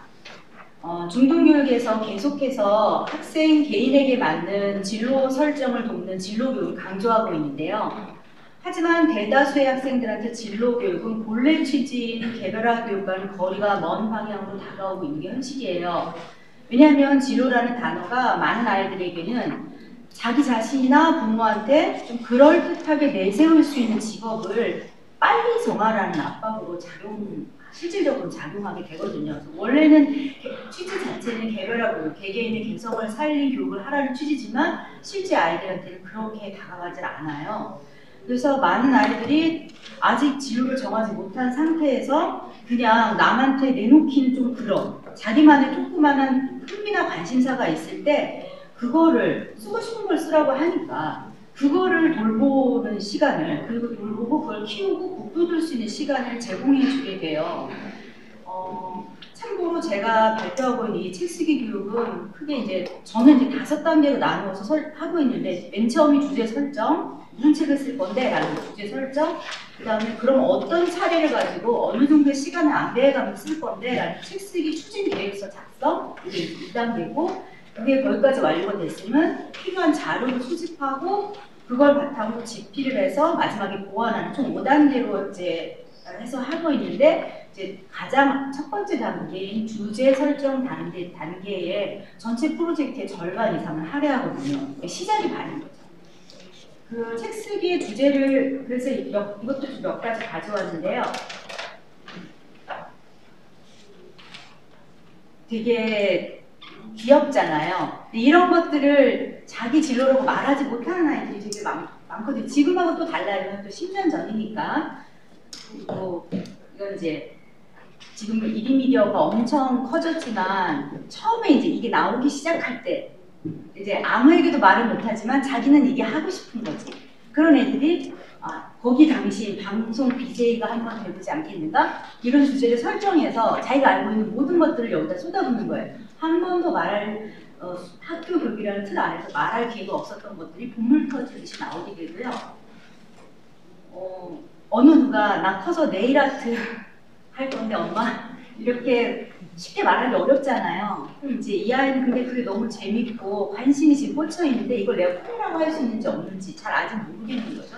그럴 때 단 하나뿐인 자기만의 네일 아트를 만들어 보면서 이게 내가 진로로 가져갈 만큼 정말 내가 좋아하는 건지 계속 심사를 해보는 거죠. 자기 자신한테. 나의 관심과 흥미가 정말 어느, 어느 정도인지. 이런 과정들을 거치면서 아이들은 자기가 좋아하는 분야를 발견해서 스스로 종합적으로 찾아 읽게 되고 그렇게 해서 알게 된 내용을 글로 표현하고 싶다는 열망에 사로잡히게 돼요. 그래서 그 열망은 어느 누가 시간을 주고 주제를 줘서 써낸 글쓰기와 달리 책 쓰기 과정 전체에 가로막히기는 자- 생각날도 장벽이 많이 있을 거 아니에요. 그런 장벽을 뚫고 나가게 하는 굉장히 강력한 동기로 작용을 하게 됩니다. 아, 제가 생각보다 말을 길게 하고 있었는지 시간이. 그다음에 세 번째로 어, 책쓰기 교육은 또한 자기 학년 교과서를 스스로 끝까지 읽지 못하는 음, 말하자면 읽기 부진 상태에 빠진 학생들에게 자신이 읽고 싶은 글을 찾아서 자신만의 속도로 꾸준하게 읽게 만드는 뛰어난 읽기 증진 효과를 갖고 있습니다. 많은 사람들이 글도 못 쓰는데 어떻게 책을 쓰냐 또 교과서도 못 읽는 애가 무슨 책을 쓰냐 하면서 책 쓰기 교육을 가로막는 어떤 상식적인 질문을 저에게 던집니다. 어, 근데 상식이라는 게 때로는 굉장히 정확하지 못한 행렬일 수도 있다는 것을 저는 책 쓰기 교육을 확인한, 확인한 적이 여러 번이었는데요. 자기 학년 교과서를 스스로 못- 읽지 못하는 학생일수록 자신의 관심이나 흥미, 수준에 맞는 개별화된 읽기 자료가 절실합니다. 근데 모든 학생들이 같이 앉아있는 교실에서 개별화된 읽기 자료를 제공한다? 불가능한 거죠. 만약 그렇게 제공한다 해도 그거는 낙인 효과가 될 가능성이 있고 또 그 아이를 별도의 시공간으로 빼내가지고 걔한테 맞춤형 수업을 제공하고 싶은 건 어른들의 생각이지 아이들은 그런 공간으로 나가는 순간 역시 오히려 교육에 대해서 배우겠다는 꺾이게 버리게, 꺾여버리게 되거든요. 그래서 읽기 부지는 사실은 많은 경우 읽고자 하는 동기가 왜 꺾여 있는지 그거에 대한 치유가 선행되어야 하는데 책 쓰기 교육은 이러한 치유 효과를 갖고 있다는 것을 발견할 수가 있었습니다. 마지막으로 책쓰기 교육은 어, 학생들에게 몰입해서 오는 기쁨을 선사합니다. 그리고 그 기쁨은 아, 나 이런 걸 할 수 있는 사람이야. 내가 이렇게 오래 앉아있을 수 있는 사람이야. 내가 이렇게 읽고 쓸 수 있는 사람이야. 라고 하는 자기 발견의 충족감을 선물해 줍니다. 자, 이러한 책쓰기 교육은 지금의 프로슈머 세대에게 더 잘 맞는 교육이기도 한데요. 어, 해가 다르게 학생들의 개성이 강해지고 현재 중고교 학생들은 뚜렷이 1인 미디어, 1인 창작자 세대 특징을 보여주고 있어요. 이들은 자기 관심사가 뚜렷하고 그렇기 때문에 나만의 책 쓰기는 자신의 미디어 채널을 구성하는 개념으로 아이들이 경우 받아들이더라고요. 내 유튜브 꾸미는 거야. 이렇게. 그래서 어, 덕후 기술을 되게 덕후 기술을 갖고 있는 아이들에게 책 쓰기 교육이 사실 더잘 맞는 것 같다는 음, 그 판단을 판단입니다. 어, 책 쓰기 교육 확산을 위한 법, 제도, 정책적 지원을 말씀드리고 싶지만 이건 이후에 발표자님들께 넘겨드리도록 하겠습니다. 감사합니다. 잘 지켜주셨고요. 지금 학교 현장 교사로서 책쓰기 교육을 오랫동안 그 경험한 어, 김미경 선생님의 발표를 들었습니다. 어, 읽기 교육에 또 다른 측면이 있다고 하는 것입니다. 어, 증진의 효과가 있다고 하는데요. 실제로 그렇습니다. 읽기가 약한 학생들한테 자꾸 읽기를 강요하는 것보다 쓰기를 가르치면 저절로 읽게 됩니다. 그리고 쓰기가 약한 학생들은 읽기를 가르치면 또 쓰기 능력이 뛰어나게 되는 걸 확인할 수 있는데요. 보통 그렇게 생각들이 안 되죠. 저도 가르치면서 깨달았고 김미경 선생님도 마찬가지고 여기에 계신 분들께서도 어, 책쓰기 교육 지도자 경험을 갖고 계신 분들은 충분히 같이 공감하실 수 있습니다. 자, 그 다음 이제 세 번째로 어, 발표를 부탁드리겠습니다. 김두라 선생님, 참배운 양로 부장님. 네, 여러분 반갑습니다. 어, 우문 현답이라는 말 들어보셨어요? 네. 어, 여러분 잘 아시는 것처럼 여러 가지 이제 그, 어, 가 있는데 그 중에 하나가 어, 현장에 가진다. 뭐가? 우리들 문제. 대한민국이 많은 문제를 갖고 있어요. 그 대한민국의 문제를 저는 현장에 답이 있다는 각오로 살았는데 배원 번님인 우리 허병두님이 이 책 쓰기 교육으로 이렇게 헌신하고 있는 것을 익히 들었습니다. 오늘은 이 책 쓰기 교육이 제가 볼 때는 조금 더 나아가는 방향이 책 쓰기 배움이라고 하는 그런 관점을 우리가 갖게 되면 대한민국을 확 바꿀 수 있다. 그런 말씀을 드리고자. 저는 어, 36년 동안 학교에 교사로 있었고 그 전에는 학생으로 지냈기 때문에 저는 56년간의 어떤 그런 감옥 같은 학교를 지난 두 달 동안에 이렇게 깜짝같이 거기 살았나 할 정도로 뭔가 네 학교가 그런 곳이었나 그런 생각을 하게 전 교장을 하지 않았습니다. 그래서 하고 싶지가 않았습니다. 줄 세우기가 얼마나 무서운 우리들에게 형벌인가라고 하는 것을 어릴 적부터 시올리시를 찬양하는 시를 써가지고 학생들 앞에서 전교생이 모니터에서 상을 받는 그런 중학교 1학년의 역사를 갖고 있습니다. 그 시올리시는 국민교육 현장으로 대변되는 교육이라고 하는 어떤 그런 허울 속에 우리들을 가두었습니다. 그래서 오늘은 어, 여러분 자료 중에 60쪽에 짧은 시간이기 때문에 그야말로 짧게 이야기하면서 네. 그렇지만 강렬한 느낌으로 여러분한테 울림이 있길 바랍니다. 자, 69쪽에 보시면 아래쪽에요. 오늘 말씀하신 허병두 선생님이 어, 말씀을 못했는데 그 내용이 보면 있습니다. 왼쪽에 세계 시민교육 추진 기본 관점과 철학이라고 보이죠? 제목만 보시면 됩니다. 책 쓰기 교육 등 세계 시민교육 프로그램 개발 뭐 이렇게 나와 있습니다. 그 오른쪽에 보시면 덴마크하고 도이치란트가 어떤 나라인가를 갖다가 보여주고 있습니다. 폴케, 호, 폴케 호이스폴레라고 이른바 번역을 하기에 따라서는 국민 또는 민중 이렇게 번역이 되는데 그루트 B라는 사람이 그런 분이 150년 전쯤에 이미 몰랐어 무지해서 정치를 알지 못한다면 선거권이 무슨 소용이 있겠는가 22대 총선이 이제 내년 4월에 다가왔습니다 여러분 정말 바꾸고 싶지 않습- 않습니까? 대한민국을. 그리고 여러분 스스로가 느끼게, 느끼겠지만 그동안 우리는 임자로 살아온 적이 없습니다. 거의 학생이고 종이고 어떤 그런 일본 말로 시다입니다 시다 시다바리. 그 종으로 생각하는 그 관점 그 생각을 벗어나지 못하면 바뀔 수 없다. 도이치란트는 이미 52년도쯤부터 그 연방 정치 배움원이라고 하는 어떤 그런 기구를 만들어 가지고 사회적 데이터입인 그 보이텔스바 협약 많이 들어보셨죠? 교화 주입식 이걸 금했습니다. 교화 주입식 여러분 우리 저는 기대하는 우리 박창훈 과장님 같은 훌륭한 그런 관료께서 앞으로 기대 참 큰데요. 교육부 있잖아요. 그 에듀케이션이라고 하는 그 말이 일본 말인 거 아시죠? 교화란 말하고 양육, 발육이라고 하는 말을 그냥 초대 문구 대신이 그냥 교자하고 육자하고 합쳐서 그래서 교육이라고 해라. 이래 된 거예요. 그걸 우리가 쓰고 있어요, 아직도. 그래서, 아, 교육, 학습, 배움. 저는 교육과 학습에 대해서 질문을 했고, 그래서 교육, 학습보다는 배움이라고 하는 오래된 배움이란 말을 살리자.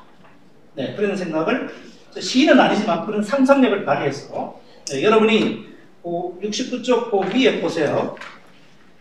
그 1, 2, 3이 있는데요. 여기 아까 의원님들 계실 때 제가 얘기하고 싶었는데 저도 도대체 나라다운 나라가 뭡니까? 대통령의 말도 이게 일본말이거든요. 어, 대통령이 벌써 이렇게 어떤 본보기가 되지 않고 있는데 이거 어떻게 된 거예요? 헌법 31조가 문제입니다. 헌법 31조. 헌법 31조에 나라다운 나라를 만들려면 교육을 받을 권리라고 하는 것을 배움을 누릴 권리로 바꿔야 된다는 거예요. 모든 교육법이라고 하는 것이 다 일본 그 흉내내는 그런 법인 거 아시죠? 배움법으로 다 바꿔내야 됩니다. 그걸 우리 도정학 의원님이 해내실 거라고 저는 생각합니다. 그리고 이 지금 이 허병도 선생님이 얘기하신 거는요, 이거는 혁명이에요. 여러분 혁명 두려워하지 마십시오. 일상의 혁명, 그죠? 생활 속의 혁명, 판을 가는 거예요. 이제 그 어떤 판을 한번 바꾸는데 가장 중요한 게 네, 어, 65쪽에 보시겠습니다.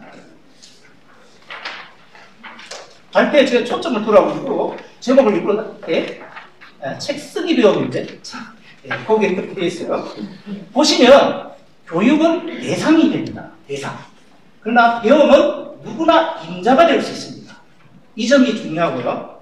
그래서 말을 해도 우리가 말에 대한 어떤 그런 값을 같은 그런 치료해야 되는데 단 한 명의 아이도 포기하지 않는 교육 없습니다.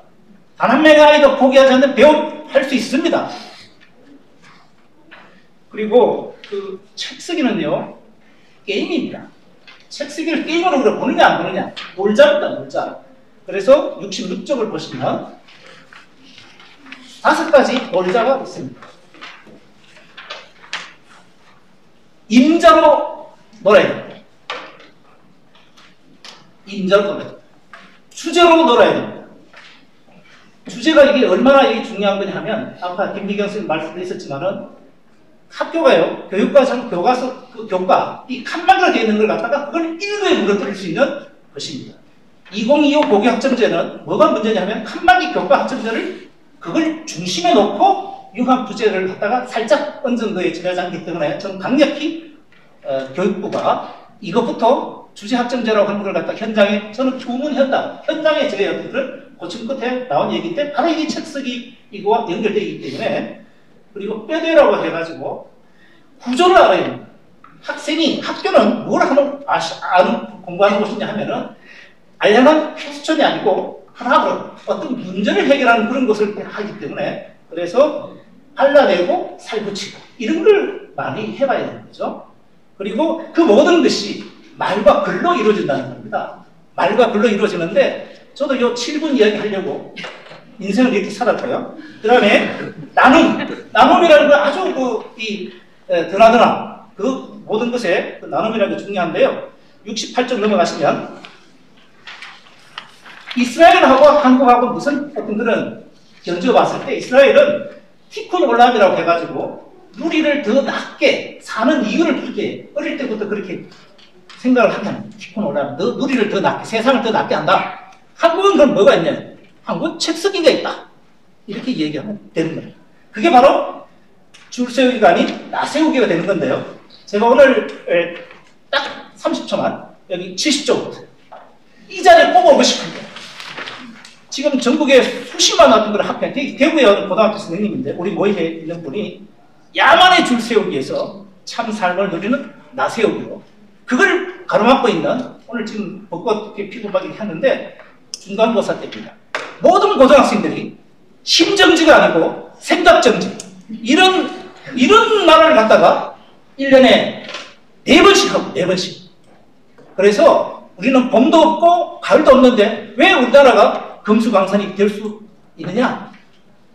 봄도 있고 가을도 있다는 걸 학생들이 심정지 어떤 생각정지에서 벗어나는 어떤 그것이 하나의 방향이라고 하는 점을 잠깐 강조해서 말씀드리고 싶고 거기에 많은 의원님들이 동참해서 도대체 뭐가 문제인가 라고 하는 것을 네, 어, 36년 동안 현장에 있었던 그런 어, 힘으로 제가 한번 말씀드리겠습니다. 고맙습니다.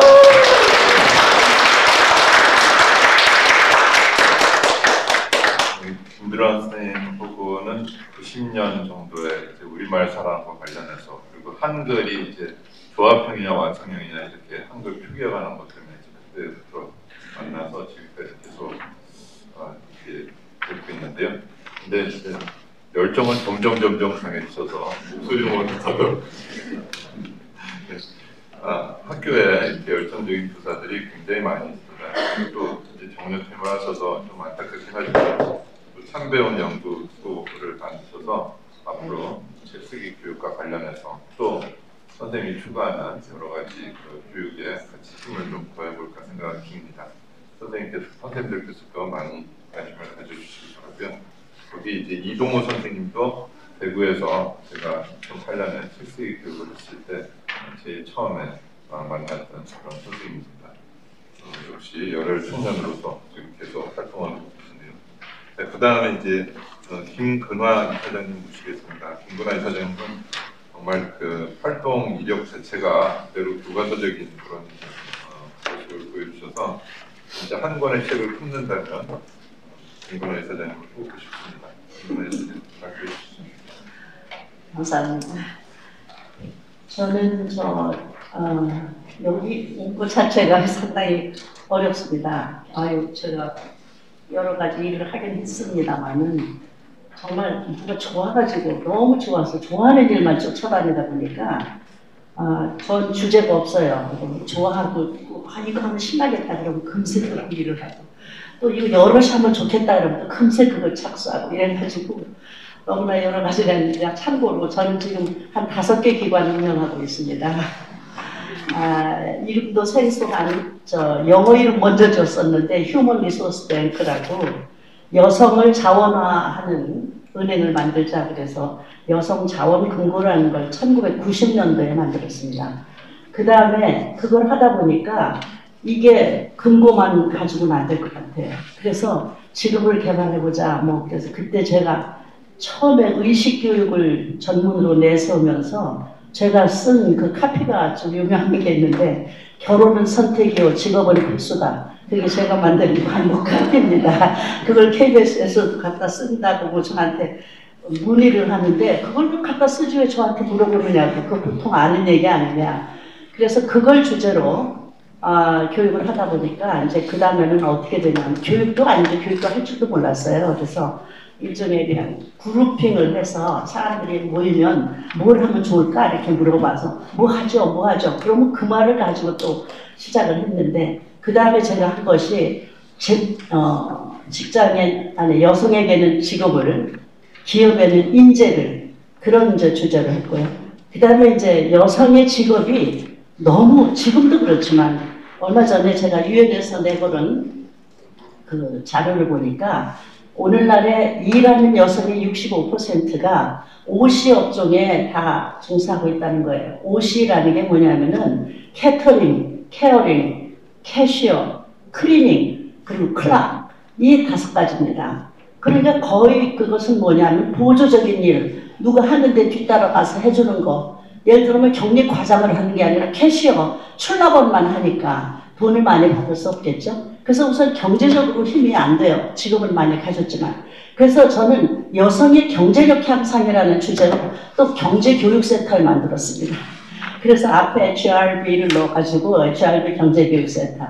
뭐 그 다른 것도 다 말하려면 다섯 개 다 말하려면 기웁니다. 근데 그 중에 하나가 제가 경제교육센터 하면서 직업전략연구소라고 오늘은 제가 그 다섯 개 중에 한 기관을 이제 대표해서 나왔는데 저는 뭔가 여성이 하면 그 여성이 가진 능력이 하나의 부가가치로 작용이 돼서 어, 훨씬 더 월급도 많이 받고 대우도 잘하고 좋은 직위에 앉을 수 있고 앞으로 또 미래가 보장될 수 있는 어떤 그런 가능성을 부여하는 그런 직업을 만들면 어떨까 그래서 여성 직업의 전문화, 정보화, 다양화 그것도 제가 만든 캠페인 제목입니다. 그래서 여성 직업이 아무튼 다양하지 않고 전문화가 안 돼 있고 그리고 여자가 할 수 있는 일은 꼭 여자는 일만 해야 돼. 여자가 하는 일. 이런 그 프레임을 세우니까 여자가 정말 어디 나갈 곳이 없어요. 그래서 직업에 남녀 차별이 어디 있습니까? 지금 사실은 이 컴퓨터가 나오면서 세계 최초의 컴퓨터 프로그래머가 Lady Ada라고 하는 시인 바이런의 딸입니다. 그래서 영국에 가면 맨체스터에 그 박물관이 있습니다. 그런데 그때는 그 컴퓨터가 집채만한 컴퓨터이기 때문에 그 컴퓨터에 가서 무슨 간단한 코딩 하나를 해도 어, 전부 다가 저 이게 폭발한다 그런 소문이 나가지고 아무도 가서 그 간단한 일을 할 생각을 못했어요. 근데 이 Lady 저 Ada는 ADA입니다. 저 spell이. 근데 그 사람은 몸이 아주 크고 우람하고 소위 말하는 가냘픈 여자가 아니었어요. 아버지는 아름다운 낭만시를 쓰는 분이었지만 딸은 전혀 아니었거든요. 이게 얘가 용감하니까 가서 내가 하겠다고 손을 들은 거예요. 얘 처음에 가가지고 간단한 그 컴퓨터 프로그램을 했는데 그것 때문에 여성이 이 손끝, 여성의 손끝은 남자에 비해서 20%가 작습니다. 그래서 이 손 작은 이 손끝 때문에 키보드가 여성의 손끝에 맞춰서 개발이 됐고 그때부터 프로그램은 여성이 했는지 남성이 했는지 거기에 쓰여 있지 않습니다. 프로그램만 좋으면 됩니다. 진정한 남녀 평등은 컴퓨터 프로그램이 생기면서부터 이루어졌다고 저는 생각을 합니다. 직업에서의 평등 박수 한번 치세요. 이게 남녀 그래서 저는 지금 여성운동도 제3의 여성운동을 저는 부르짖고 있습니다. 여자가 남자도 여자를 위해서 일하는 남자 얼마나 많은지 몰라요. 이해가 너무 있어. 여성도 남녀 관계없이 여성이기 때문에 잘하는 것이 아니라 인간으로서 잘하는 거예요. 그래서 저는 양성평등주의가 아니라 인간평등주의를 자연히 부르짖게 됐습니다. 그래서 지금 제가 하는 일은 거의 이제 그런 일인데 이거 이러다가 오늘 하루 종일 제가 그래서 아, 저는 이거 책은 여기다 그걸 다 썼으니까요. 한번 보시고요. 어, 저는 그냥 간단한 결론만 얘기를 하겠습니다. 어, 저는 글쓰기라는 것이 저, 어, 누구예요? 저 바이런, 아, 그, 저 베이컨. 없는 베이컨이라고 외우기가 쉽죠? 그 사람이 이런 말을 했어요. 책을 많이 읽는 사람은 지식인이 되고, 지식인을 만들려면 책을, 독서를 많이 읽게 하고, 그 다음에 아, 준비된 사람이 되려면은 토론을 많이 하면 되고, 그 다음에 정확한 사람이 되려면은 글을 써라 했어요. 근데 우리 지금 우리 사회에서 너무나 다 엉터리가 너무 많은 거예요. 정확하지 않은 게 문제예요. 또 우리가 어디 가서 무슨 일을 하든지 간에 그 일이 자신 있고 잘할 수 있는 사람은 다 그쪽에 경험을 한 사람이 잘하는 거예요. 그 경험이라는 게 뭐냐면 모든 걸 다 경험할 수 없으니까 책을 통해서 독서를 통해서밖에 할 게 없어요. 그런데 이 독서를 가지고 무엇을 할 것이냐? 반드시 책만 쓰는 건 아니라고 생각해요. 그것 때문에 얻어지는 지식, 그것 때문에 얻어지는 간접 경험이 우리 사회를 정말 좋게, 우리나라를 좋게 만들지 않겠어요? 그래서 저는 오늘 뭐 제 얘기는 저 무지무지 길게 하는 사람이에요. 그 연설을 굉장히 많이 합니다. 오라는 데는 다 걸어다녀요. 그래서 5월 1일부터 제가 또 저 글로벌 서밋에 갑니다. 두바이에. 그래서 거기 가고 30일 날 우리 딸 결혼식을 합니다. 그런데 오늘 여기 절대 올 수 없고 제가 이 호 선생님한테 몇 번을 말씀드렸는데도 뭐 꼭 와야 된다고 그래서 또, 또 거절 못하는 병이 있어요. 제가 그래서 누가 말하면 진짜 필요한가 싶어서 제가 또 왔습니다. 꼭 필요하지 않, 않지도 않죠. 근데 제가 오늘 여러분께 저기 책에 있는 저 전시된 거는 요즘 여러분이 만드신 걸 주로 나왔는데 저는 최근에 제가 전 본 책에서 특히 어, 저도 지금 한 5년 전부터 독서클럽이라고 ESU 독서클럽이라고 하는데 나가서 일주일에 한 번씩 저도 책을 읽고 발표하고 남의 얘기도 듣고 하는 그런 시간을 갖고 있습니다. 거기서 저한테 발표할 기회를 가끔 주는데 어, 그 중에 하나를 다른 일을 하기 위해서 두 가지 책을 제가 지금 소개하고 싶은데 그 책은 너무 두꺼워서 안 가져왔어요. 그리고 상하권이라 아 그건 안 가졌죠. 파운틴 헤드라고 하는 책이고요. 혹시 어디서 하면 그건 상하권 두 권입니다. 400페이지 이상이 되는 아, 두 권이고요. 저도 한 두 달 걸려 읽었습니다. 그 다음에 하나는 참발의 시대라고 하는 어, 책을 여러분께 소개하고 싶습니다. 그러니까 유럽이 어, 1490년부터 1530년까지 한 40년 동안이 창조 발전이 정, 정확하게 되는 시대다. 이래서 그 창조 발전의 첫 번째가 뭐냐면 콜럼버스의 에, 탐험이 나옵니다. 콜럼버스 때문에 어떻게 됐다는 건뭐다 아시긴 아시죠. 그 다음에 뭐냐면 구텐베르크 영향으로 종교개혁이 이루어졌죠. 그래서 루터의 그 개혁론이 아주 그 책이 너무 잘 나왔더라고요. 그래서 저는 요즘에 읽은 책 중에 그걸 굉장히 좋고 오늘 여러분한테 소개드리고 싶은 거는 대학에 뭐 학교에 지금 글쓰기 교실이 안 돼 있다, 안 한다, 막 그러는데 이거 서울대학교에서 박주영 교수, 서울대 박주영 교수님이 어, 특강으로 글쓰기 교실을 했대요. 특강으로. 그 특강했던 내용을 책으로 내는 이 책이에요. 근데 저는 너무 좋았어요. 이게 실무적 우리가 사실 글을 써야 되겠다, 책을 내고 싶다 이런 욕심이지 어떻게 쓸 것인지 어떻게 책을 낼 것인지 모르지 않습니까? 그 노하우가 이렇게 쓰면 책이 써진다 하는 내용이 여기 너무 잘 써 있었어요. 그 여기 또 하나 또 소개 얼른 생각하면 돈이 되는 글쓰기 교실 이런 것도 있더라고요. 그래서 또 글 쓰는 것이 우선 더 돈을 벌 수 있다면은 그 책도 좋아요. 오늘 저는 이 책만 소개하겠습니다. 그래서 저는 어, 제가 이것저것 해본 것 중에 어, 이 처음엔 이게 독서지도사라는 새로운 신직종을 했어요. 요새 독서지도사 뭐 많이 여러 곳에서 지금 하고 있는데 또 우리 제가 지금 하는 건 전자출판 지도자, 전자출판을 해본 사람을 그 방송 작가 뭐 이런 분들이 수필가 이런 분들이 어, 그 방송 작가로 아 저 어,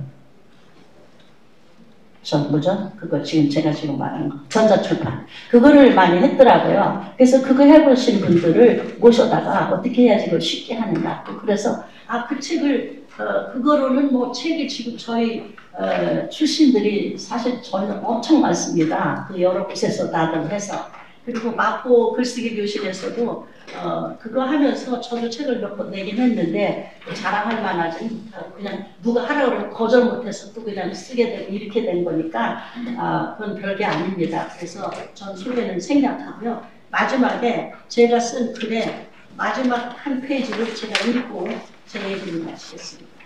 그래도 죽었나요? 아,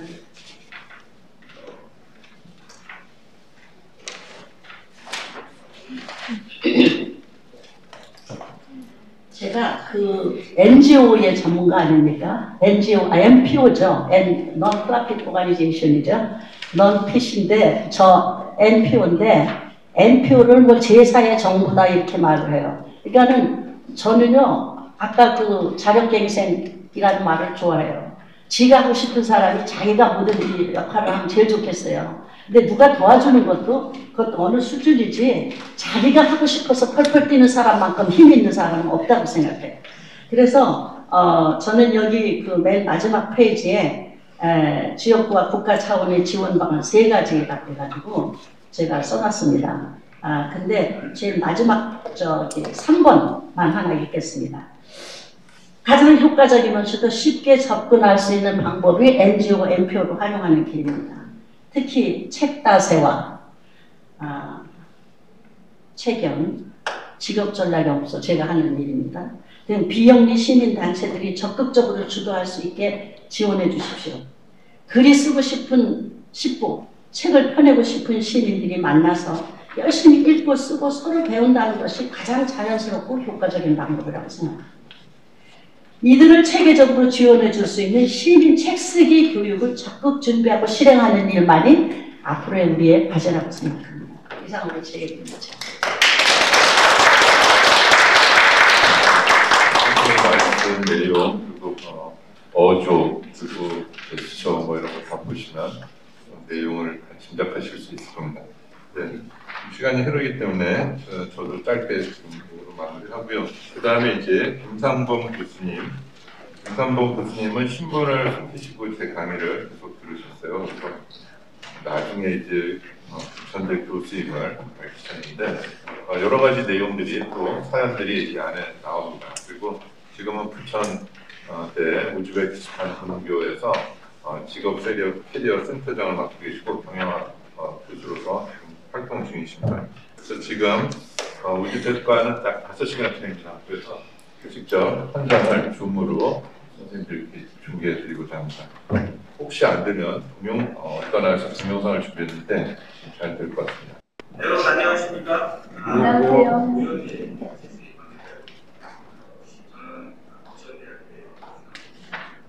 저희는 책 쓰기 수업을 시작해요.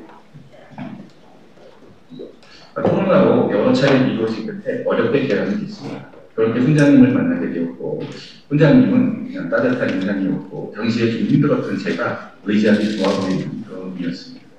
그렇게 서문한주의 강의를 소화했고 부끄럽지만 저도 한 권의 책을 붙여 주셨습니다. 책을 쓰면 이어진 인연 그런 느낌으로 저에게 시작되었습니다. 훈장님이 수업 내내 강조하던 두 가지가 있었습니다. 그 중에 한 가지는 저작권 기부의 중요성을 분명히 말씀하셨고, 다음 한 가지는 수료 후에 배운 것 지역 주민에게 물려줘야 한다는 소신이었습니다. 저 역시 마찬가지로 수료, 수료 후 중학교를 나선 후에 책 쓰기 교육을 하게 되었습니다. 사실 제가 간 중학교에서 책 쓰기 수업은 그렇게 인기 있는 수업은 아니었습니다. 쉽거나 다른 수업에 자리가 없어서 들어온 학생도 있었고, 언어 소통이 어려운 악마 학생과 장애가 있는 학생도 있었습니다. 글을 쓰기도 어려웠고 대면과 비대면을 섞어가면서 진행하는 하이브리드 수업이 진행되고 있어서 학생들의 집중력은 더더욱 기대하기 어렵습니다. 그리고 모든 학생이 책을 쓰는 거에 의미를, 두어, 의미를, 의미를 두었기 때문에 장애가 있는 학생은 비교적, 비교적 쉬운 뒷가시를 쓰게 했고 다문 학생들은 말로 하면 제가 받아 적기도 했습니다. 아, 사실 이런 과정들은 대학생을 가르치던 데 매우 힘들었고 수업에서 빠질까 하는 그런 생각도 하게 했습니다. 그러던 중에 계기가 하나 있었는데 또 폭력적인 성향의 학생이 장애가 있는 학생을 우선으로 때리려는 걸 급한 상황에서 제가 몸으로 막아주고 해낸 적이 있었습니다. 그것 때문인지 아무튼 그 변화가 있었는데 차츰 말을 듣고 글을 쓰기 시작했습니다.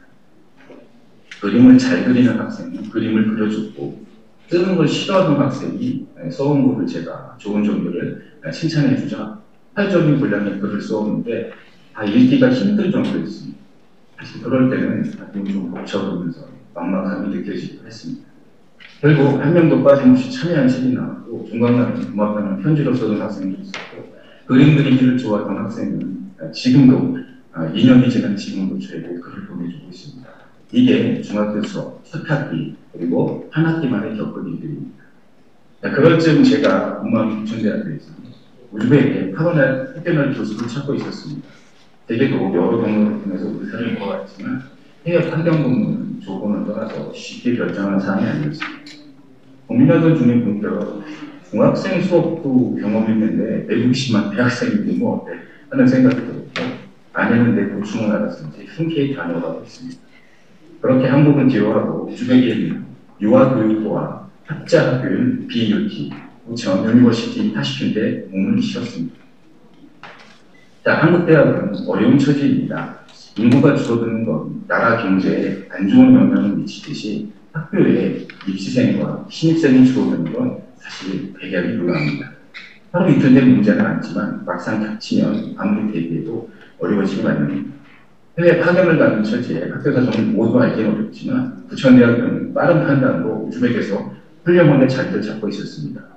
교육부에서도 모범 사례로 여러 번 소개되었고 학생 수와 학과도 증가세에 있습니다. 2018년 개교한 BUT는 우즈벡 수도인 타시켄트 두 곳에 소재해 있습니다. BUT 동경은 한국의 북동격인 신란자에 있고 강남격인 안무팅루 광장에는 IT 캠퍼스가 있습니다. 현재는 칠란자대 4개과 IT 캠퍼스 3개가 약 1,400명의 학생과 240명의 교직원이 근무하고 있습니다. 이번 학기부터 세계과에서 졸업생이 나옵니다. 네, 제가 이곳에서 추천업 센터를 맡고 있는데 일주일에 한 서른 시간 정도의 강의와 학생들을 이곳 한국 기업에 취업시키기 위해서 분주하게 노력하고 있습니다. 우즈벡은 1991년 9월에 독립국가로 인정받았습니다. 이전에는 소비에트 연방의 공산주의 국가였으나 독립 이후 대통령 문제로 선택하고 시장 경제로 발전을 추진하고 있습니다. 한국과는 형제국이라고 말할 정도로 친밀한 관계를 유지하고 있습니다. 한국과 가깝게 지내는 데는 고려인의 도움을 빼놓을 수 없습니다. 스탈린 시절에 강제로 이주당한 고려인이 중앙아시아에는 약 50만 명이 거주하고 있는데 그중 40%인 약 18만 명 정도가 우즈벡에 살고 계십니다.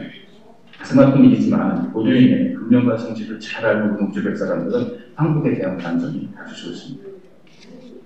이곳에서 느낀 점은 한국 문화를 좋아한다는 점입니다. 학생들은 BTS, 블랙핑크, 오징어 게임을 좋아하고 어른은 드라마, 대사들과 주몽이를 지금도 합니다. 한국을 동경하고 알고 싶어하며 가고 싶어합니다. 자연스럽게 한국어와 한국 문화를 배우고 싶어합니다. 학생들은 한국어 등록시험, 이른바 토픽을 보기 위해서 줄을 섭니다. 적지 않은 비용인데도 불구하고 접수와 동시에 마감이 될 정도로 접수조차 어렵다고 토로합니다. 한국에 유학 가서 한국 받고 생활하고 싶어합니다. 대학교는 물론 대학원에 진학하고 싶어합니다. 인근 지하의 시국과도 정도 차이는 있지만 대부분 마찬가지입니다. 이런 열기는 학생이 부족한 한국 대학의 지위이며 우수한 지적 시스템을 수출하는 계획이기도 합니다. 아, 남아도는 교수님과 시스템을 수출할 수 있는 길이 열린다면 양국 발전에 매우 바람직하다고 생각합니다. 천연가스와 석유, 광물 등 자원 부국인 우주백은 이제 막 깨어나기 시작하는 나라이고 많은 고려인이 거주하고 있으며 한국에는 매우 우호적인 나라입니다. 이곳에서 한국어 책쓰기 운동이 자리를 잡는다면 책쓰기 세계화의 첫걸음으로 부족함이 없다고 생각합니다. 자, 대학교나 대학원에서 필요한 한국어는 간단한 생활대화가 아닙니다. 전공학생에 필요한 정확하고 유창한 한국어가 필요합니다. 한국어로 책을 쓰는 경우는 한국어 소통 능력을 긍정적으로 발전시킵니다. 저작권을 기반한 일도 학생들에게 매우 가치 있는 일이고 좋은 스펙이라고 생각합니다.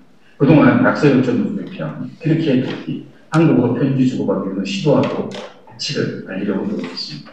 쉽지만은 않습니다. 일단 외국어로 책을 쓴다는 생각조차 하지 않았던 학생들을 설득해야 하고 그 전에 BUT에도 책 쓰기의 중요성과 필요성을 알려야 합니다.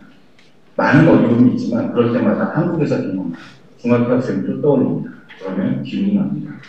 그런 노력들이 모여서 BUT의 출판을 위한 시스템이 준비되었습니다. 원고만 있다면 책을 내는 일은 어렵지 않게 되었습니다. 모든 게 부족한 이곳에서는 제법 큰 일입니다.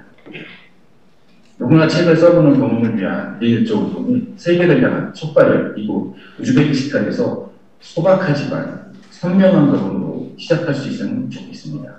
이번 포럼이 기회라고 생각하며 의원님과 책쓰기 관계 여러분께 몇 가지 제언을 드리고 싶습니다. 첫째, 책쓰기 운동은 우즈벡 학생과 국민에게 매우 좋은 일입니다. 이곳 우즈벡은 1924년부터 91년까지 약 67년 동안 소련의 지배를 받아왔습니다. 전술한 대로 91년 독립을 맞이한 지 32년이 지나고 있습니다만 아직 창의적이고 자유스러운 생각이 자리를 잡기엔 어려움이 많습니다. 흑백 창문이 유난히 작아서 현지인에게 물어보니 가능하면 밖에서 안이 보이지 않게 만든 구조라고 합니다. 비밀 경찰 때문이라고 합니다. 책 쓰기는 그런 경직되어 있는 사법을 녹이고 창의적 세계를 열어줄 수 있다고 생각합니다. 두 번째, 경력 단절 여성과 은퇴 후 일자리를 만드는 데 도움이 됩니다. 정확한 데이터는 미보셨겠지만 한국에서 책 쓰기 교육은 여러 경력 단절 여성의 일자리를 만들었습니다. 생계를 위한 일자리가 아닌 스스로 하고 싶은 양질의 일자리를 만들었다고 생각합니다. 또 다른 유형의 일자리는 은퇴 후 가벼운 일자리입니다. 은퇴는 경제적 어려움을 가져오기도 하지만 사회의 단절을 의미합니다. 경제성보다는 사회에 호흡하는 자신의 재능을 종사하는 차원의 책쓰기 지- 교육 지도자는 은퇴와 사회를 연결해주는 우리 역할을 할 것이라고 생각합니다. 자, 책쓰기, 네, 운동을 확산하는 일은 경제적 지원보다는 의원님들의 관심만도 충분합니다. 이미 책을 좋아하시고 저보다 훨씬 윗길에서 포럼을 지켜보시는 의원님과 책쓰기 관계자 여러분 대부분이 예, 관계자 여러분이 대부분이라고 생각합니다. 저는 이미 완성된 책쓰기 사례를 보고 있습니다. 바로 세종학당, 한국문화원입니다. 기초적인 한국을 배우는 데 중요한 역할을 하는 기관들입니다. 이 롤모델을 벤치마킹 한다면 어렵지 않게 색쓰기 세계화 운동을 확산시키고 한국의 지적 문화로 자리 잡을 수 있다고 생각합니다. 자, 그한 번에 두 가지 문제를 해결하는 경우를 일거리 또는 일타쌍피라고 합니다. 입시생은 부족하고 양질의 교육을 받은 교수자는, 교수자는 일자리를 잃어가는 한국의 대학 현실과 한국어의 수요가 있고 도움이 필요한 고려인과 현지인이 있는 이곳에서 한국의 일자리와 활기를 키워가는 insight를 더해줄 누구나 책쓰기 일조 운동은 책다세와 책연 등의 자발적인 민간 조직과 만나 그 시너지를 만들어줄 것입니다. 내가 받은 걸 사회에 돌려준다라는 책연의 정신과 말할 줄 알면 쓸 줄 안다라는 호병도 훈장님의 교육 정치, 사랑의 나눔과 지식의 더함이라는 더함이라는 책다의 철학이 구루어 옮겨서 세계인 누구나 한 권, 아니 그 이상의 책을 쓰는 경험을 창조적으로 하는 일에 한손 보태는 역할을 했으면 좋겠습니다. 들어주셔서 감사합니다.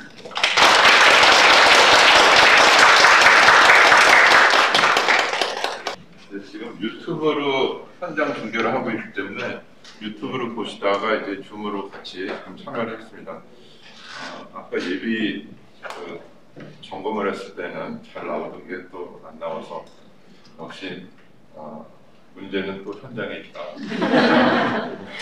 답도 현장에 있고 문제도 현장에 있다는 생각 같습니다. 어, 지금 대학교에서 이 대학의 위기를 어떻게 극복하는 하고 있는가 그리고 그와 관련해서 또 책쓰기 교육을 또 다른 좀 더 성숙한 그 교육 환류로서 발전시킬 가능성 그리고 실제를 지금 열심히 어, 실행 중이십니다. 자, 그러면 이제 마지막으로 교육부에서 어려운 걸로 해주셨는데 뭐 주제 내용 이것도 중요하겠지만 그보다는 이제 이론과 연관된 어떤 정책과 뭐 관련된 앞으로의 계획이라든지 또 어, 주목 과장님으로서 교육 행정이 이것을 어떻게 뒷받침해 주시는지 이런 부분들을 갑자기 또 이렇게 부탁드리는 거가 예의는 아니라고 생각하지만 또 어려운 걸 해주셨으니까 어, 좀 말씀을 좀 어, 드리겠습니다. 네. 감사합니다.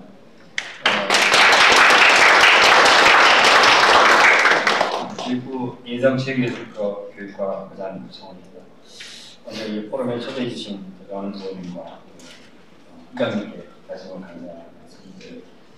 어, 다 아시겠지만 이제 어, 지금 뭐 챗GPT라고 하는 인공지능 기술을 기반으로 한 디지털 대전환 시기에 직면하고 있는데 그 어, 과정에서도 어, 많은 그 인간의 하는 활동들이 이제 기계로 대체되고 있는 것 같습니다. 아, 또 책 쓰기 또한 그런 상황이 있지 않을까 싶습니다. 뭐 논문도 이미 챗GPT가 쓰고 있다고 하니까요. 그러면은 그때 그럴 때에 아무리 그렇더라도 대체할 수 없는 것이 뭘까 생각해 보면 결국은 인간다움이 아닐까, 인간의 정체성이 아닐까 하는 생각이 듭니다. 그런 의미에서 오늘 책 쓰기 교육이라고 하는 이 주제는 어, 인간의 정체성을 찾아가고 인간 정체성을 유지하자는 그런 차원에서 매우 의미 있는 그런 운동이고 교육이 아닌가 생각이 듭니다. 제가 이야기로는 이 책쓰기 교육 또는 책쓰기 활동이 말씀 저자가 자신만의 주제를 탐색하고 그것에 몰입함으로써 자기의 어떤 삶을 주체적으로 만들어가는 과정으로 이해하고 있습니다. 그래서 어, 교보문고 앞에 가면 이 저 석판이 있는데요. 거기에 보면 책은 사람이 만들고 사, 아니, 네, 사, 사람은 책을 만들고 책은 사람을 만든다라는 글이 있습니다. 바로 이 문구가 오늘 논의하고 있는 책 쓰기 교육에 딱 맞는 것 같습니다. 그리고 책 쓰기 교육은 단순히 책 만들기 교육이 아니라는 것도 오늘 제가 깨닫게 됐습니다. 그래서 이런 것들은 아, 학교 현장에서 어, 접목될 수 있도록 어, 그동안에 또 교육부는 그 노력을 또 해온 적이 있습니다. 그래서 지금 보니까 2013년부터 18년까지 한 6년 정도 교육부에서도 책 쓰기 교육을 확산하기 위해서 여러 가지 재정적 지원을 했고요. 그리고 그것이 이제 교육청의 자체적인 사업으로 정착이 되어서 현재도 한 15개 교육청에서 계속 책 쓰기 그 교육을 하고 있는 걸로 알고 있습니다. 그래서 어, 단위학교에서 어, 가족 책 쓰기라든지 또 어르신 자서전 쓰기라든지 우리 지역 여행책 만들기, 뭐 장애인을 위한 오디오북 제작 이런 것들을 꾸준히 하고 있습니다.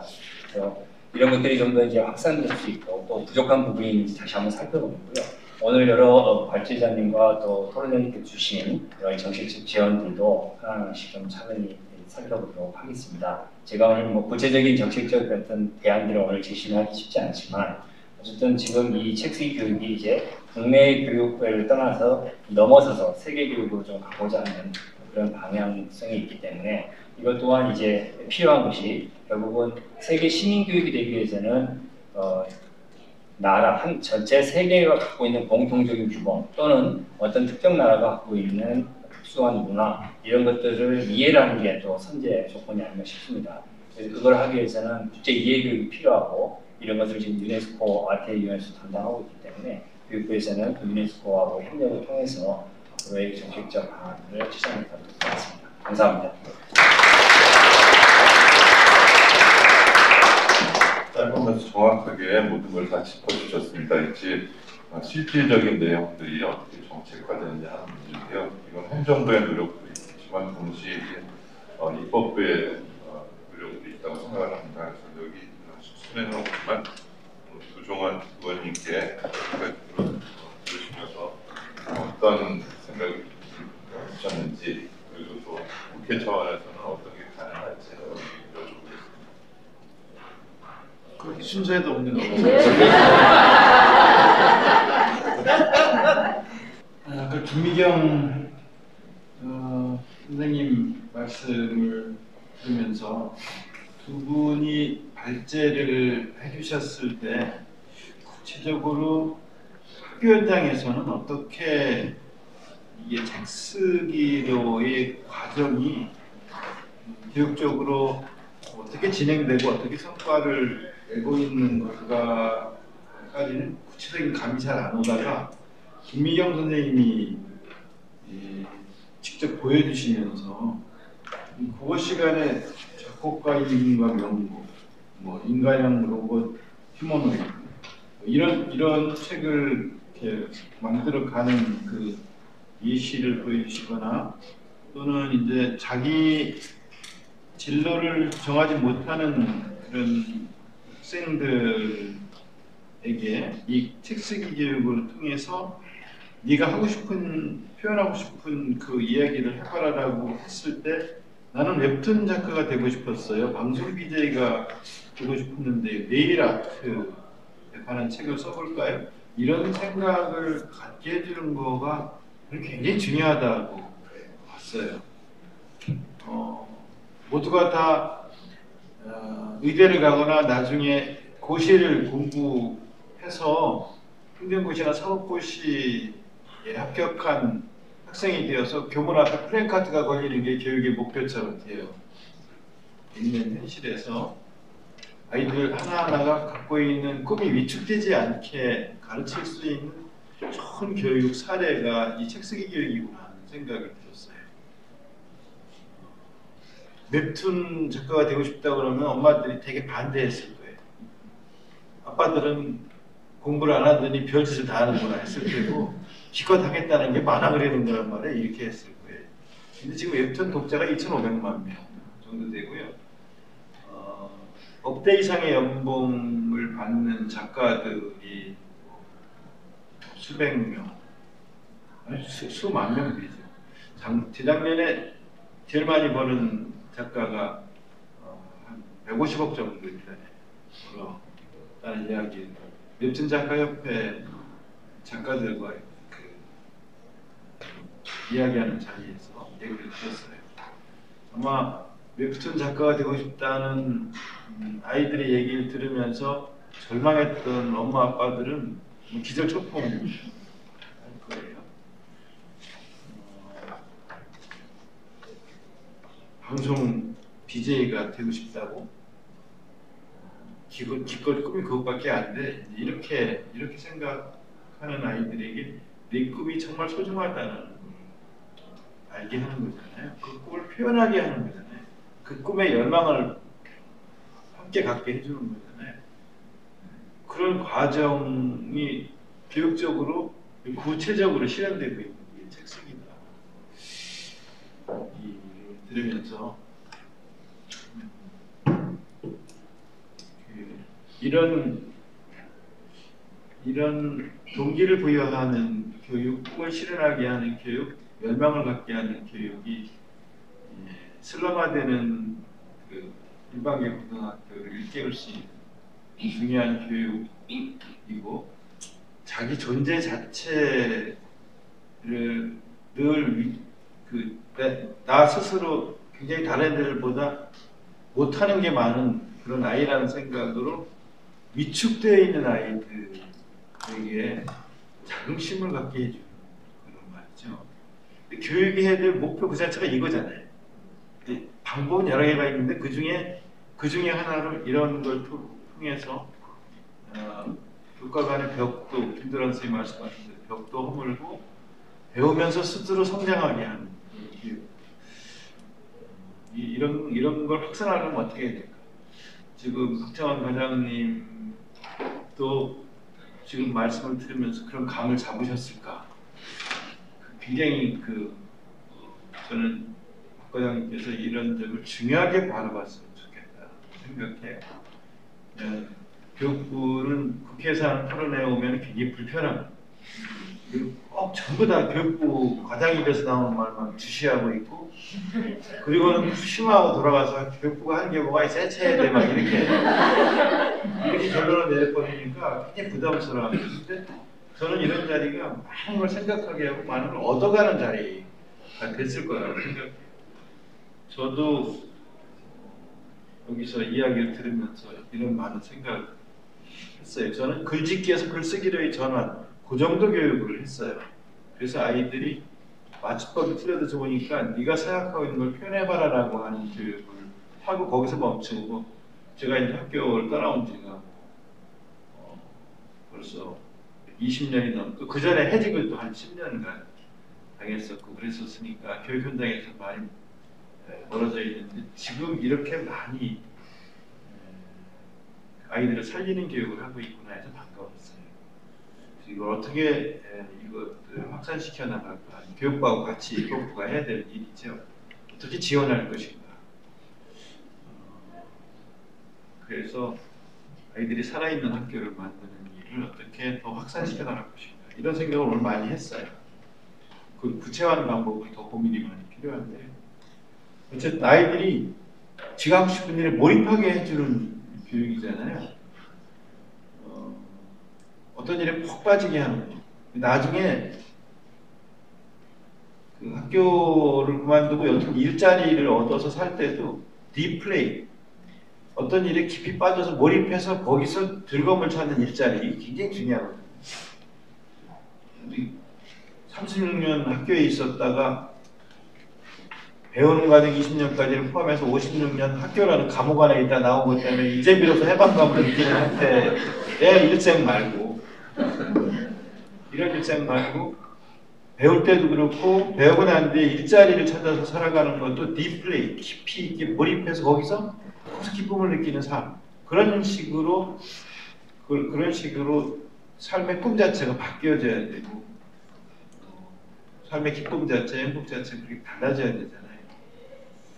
그래서 그런 좋은 수단 중에 하나로 방법 중에 하나로 허병주 선생님과 책다세 여러분들이 부천에서 이런 사례를 만들어낸 어, 글쓰기에서 책쓰기로의 전환 이 점이 굉장히 주목해야 될 지점이다라는 생각을 했다는 말씀을 드리겠습니다. 예, 감사합니다. 해외사의 성격도 약간 갖고 어, 있는 말씀을 해주셨기 때문에 순서가 약간 뒤바뀌었다고 생각하고 어, 그 조금만 더 진행을 하겠습니다. 여기 와 계신 네빈 선생님들께서 혹시 어, 한 말씀 하시고 싶으면 지금 뭐, 네, 자유롭게 이것도 역시 계획이 없다는 그냥 참석해서 이렇게 좋은 강의 들은 거에 대한 보답으로 한 말씀을 드리겠습니다. 네, 신수관 선생님이시죠. 저기 서양 학문에서 고대 한 BC 2, 3세기 전부터 서양 학문이 가장 최고의 학문으로 저 같이 하는 거고요. 수사학이에요. 수사학이라는 게 결국 말하고 쓰는 거거든요. 근데 과거에 동양이나 우리나라에서는 침묵은 금이고 뭐 옹교는 은이다. 그래서 하여튼 말을 안 하는 거 그리고 예 아니요밖에 없었잖아요. 근데 서양에서 그 수사학을 외톨이라고 하는 거를 가장 최고의 학문으로 말하는 거는 어떤 진리라는 것을 우리가 구체적으로 정확하게 그거를 표현할 수 있는 가장 그 진리의 본질에 가깝게 표현할 수 있는 게 결국 언어라는 거예요. 그래서 그 말하기 그리고 쓰기. 그래서 한국에서 글쓰기 뭐 스피치 코스 같은 게 영문과에 전제 영문과를 하는데 영문과에 들어온 이유가 바로 그게 그때만 해도 공문과에 그런 과목이 없었어요. 그런데 영문과에 들어온 게 서양 학문의 그 전통이거든요. 그래서 나를 표현하는 거, 뭐 어떻게 살아가는 거, 모든 거 그런 것이 결국은 언어에 의해서 그 언어가 그냥 껍데기의 레토릭이 아니라 그 안에 마음의 진정성이라든지 그게 다 결국 나의 언어가 나잖아요. 그러니까 내가 표현하는 거는 나만큼밖에 내 언어를 표현할 수가 없거든요. 그 언어를 보면 사람을 보고 아까 뭐 책을 책은 사람이 만들지만 결국 그 책이 또 이제 그 사람이 된다는 거 이런 것 같아요. 그리고 아까 아동 교육에 관한 게 나왔는데 그 제가 그 심리학자들 뭐 이런 책 읽어보면 아동에 대한 거는 세 가지만 있으면 된대요. 하나는 너는 할 수 있다. 나는 너를 믿는다. 나는 너를 사랑한다. 그거에 대해서만 아이들이 확신을 하게 되면 모든 사람이 다 그냥 정말 자기가 열망하는 삶을 살 수 있고 그렇다고 합니다. 네, 오늘 아주 좋은 저기 모임 잘 들었고요. 저도 글쓰기에 좀 관심이 많고 이제 나머지 인생에서 글 좀 써보자 하면서도 자꾸 미루고 안 쓰게 되더라고요. 근데 글쓰기에 가장 깊이 본 첫째, 무조건 쓴다. 생각나는 대로 쓴다. 근데 옛날에는 컴퓨터가 없었기 때문에 조금 쓰고 나면 또 다시 쓰고 그래야 되는데 저는 컴퓨터가 있으니까 생각나는 대로 쓴다면 막 에디팅하면 되잖아요. 그래서 올해가 4월이니까 오늘 말에는 여기 계신 모든 분이 자기 책, 자기 인생이라는 책을 한 권씩 쓰시기를 바라겠습니다. 고맙습니다.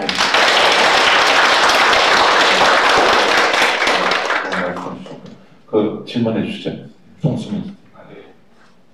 어, 저는 사단법인 단체에서 근무를 하고 있는데요. 이 아동 청소년들을 위한 공간을 새롭게 어, 구축해서 아이들이 정말로 말씀해 주셨던 것처럼 다양한 경험을 어, 본인들의 성장과도 연결시킬 수 있는 그런 공간을 계획을 하고 있습니다. 그러면서 생겼던 게 김미경 선생님께서도 말씀해 주셨지만 그 학교 안에서 이렇게 글쓰기 교육을 한다라고 했을 때 분명하게 어떤 한계점이 있을 수밖에 없다라는 생각이 들고 저희 단체도 뭐 학교나 공공도서관 같은 곳에서 아이들을 만나서 교육을 하지만 이 글쓰기라 글쓰기나 책을 읽는다라는 건 사실 너무나 너무나 당연하게 이제 기초가 돼야 된다. 한 사람의 성장을 위해서 기초가 되는 과정이라고 생각을 하는데 그 기초가 되는 과정 없이 뭐 어떤 아이들의 전문성에 대해서 이야기를 하려고 하다 보니까 아이들도 부담을 느끼고 그래서 고민하시던 분들이 이런 책 쓰기 교육까지 이 정책적으로 고민하고 계시다라는 것들을 좀 알게 됐는데요.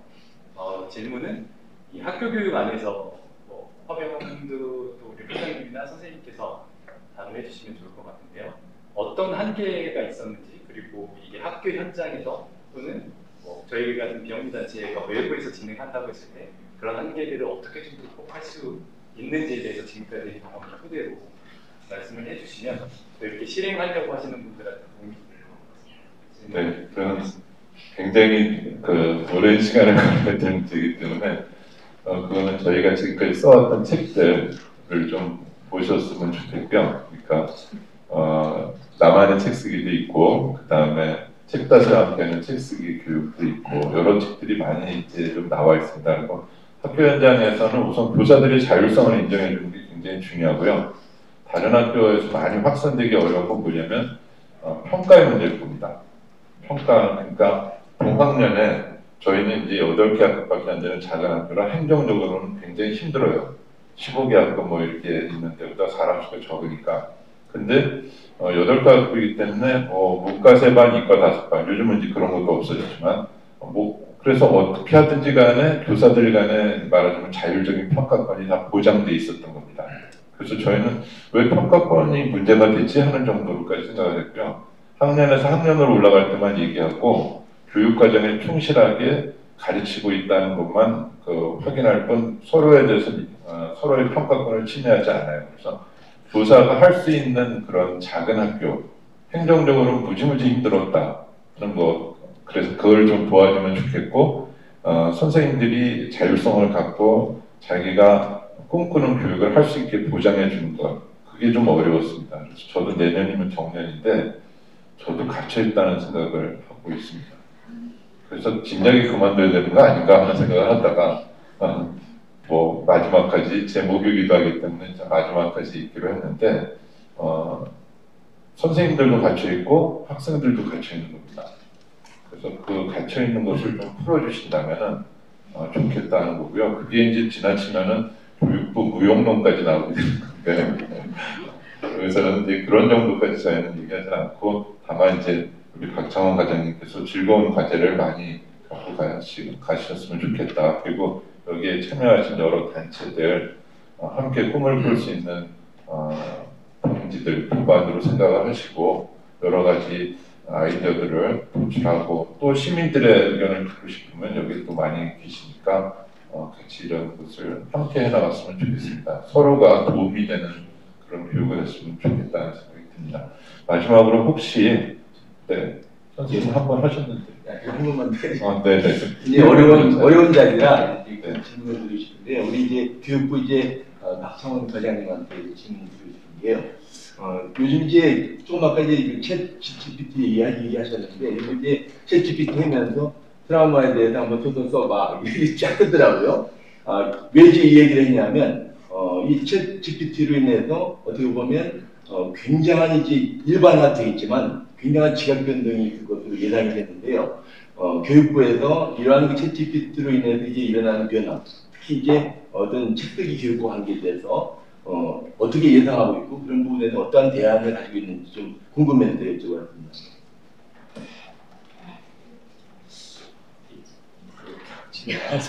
좀 이제 주신 질문이 좀 되게 거시적인 질문 같습니다. 즉답을 좀 드리기 어렵고요. 어쨌든 지금 말씀하신 대로 이제 챗GPT로 인한 단어가 이제 이 학생들의 교육에 어떻게 선순환적으로 활용될지를 많이 고민하고 있고 그 기술들이 학생들의 어떤 자발성 또 아까 말씀하신 것은 뭐 배움의 주체로서 나설 수 있는 그런 어, 도구로서 좀 활용될 수 있는 그런 것들을 좀 고민하고 있다는 말씀을 드리고요. 책 쓰기 또한 이제 우리가 손으로 하게 되고 또 컴퓨터를 치게 되는데 또 이제 챗, 챗 GPT에 맡기게 되면 독창성이라든지 자신의 주체성이 많이 예, 함몰될 수 있기 때문에 가급적이면 학생들 스스로 생각하는 사고하는 예, 그런 방향으로 갈 수 있는 예, 그런 방안들을 모색하고 있습니다. 감사합니다. 네. 네, 풀었는데요. 정말 막, 네, 많이 흘렀더라고요. 네네. 그러시면은, 어, 더 궁금한 점은 이, 제 공식적으로 종료된 다음에 개별적으로 질문을 하시는 걸로 하고요. 어, 회사 비슷하게 하시는 것 알겠습니다. 네, 네.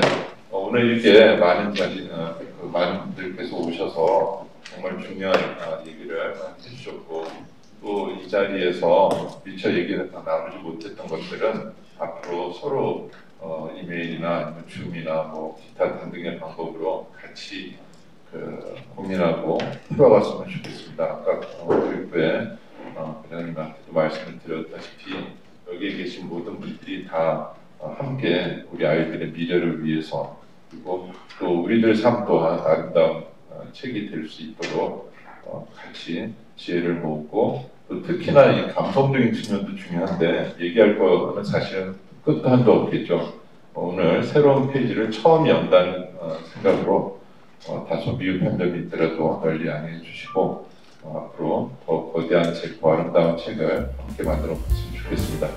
어, 오늘이 교육활류의 어, 첫 시간이었으면 좋겠습니다. 감사합니다.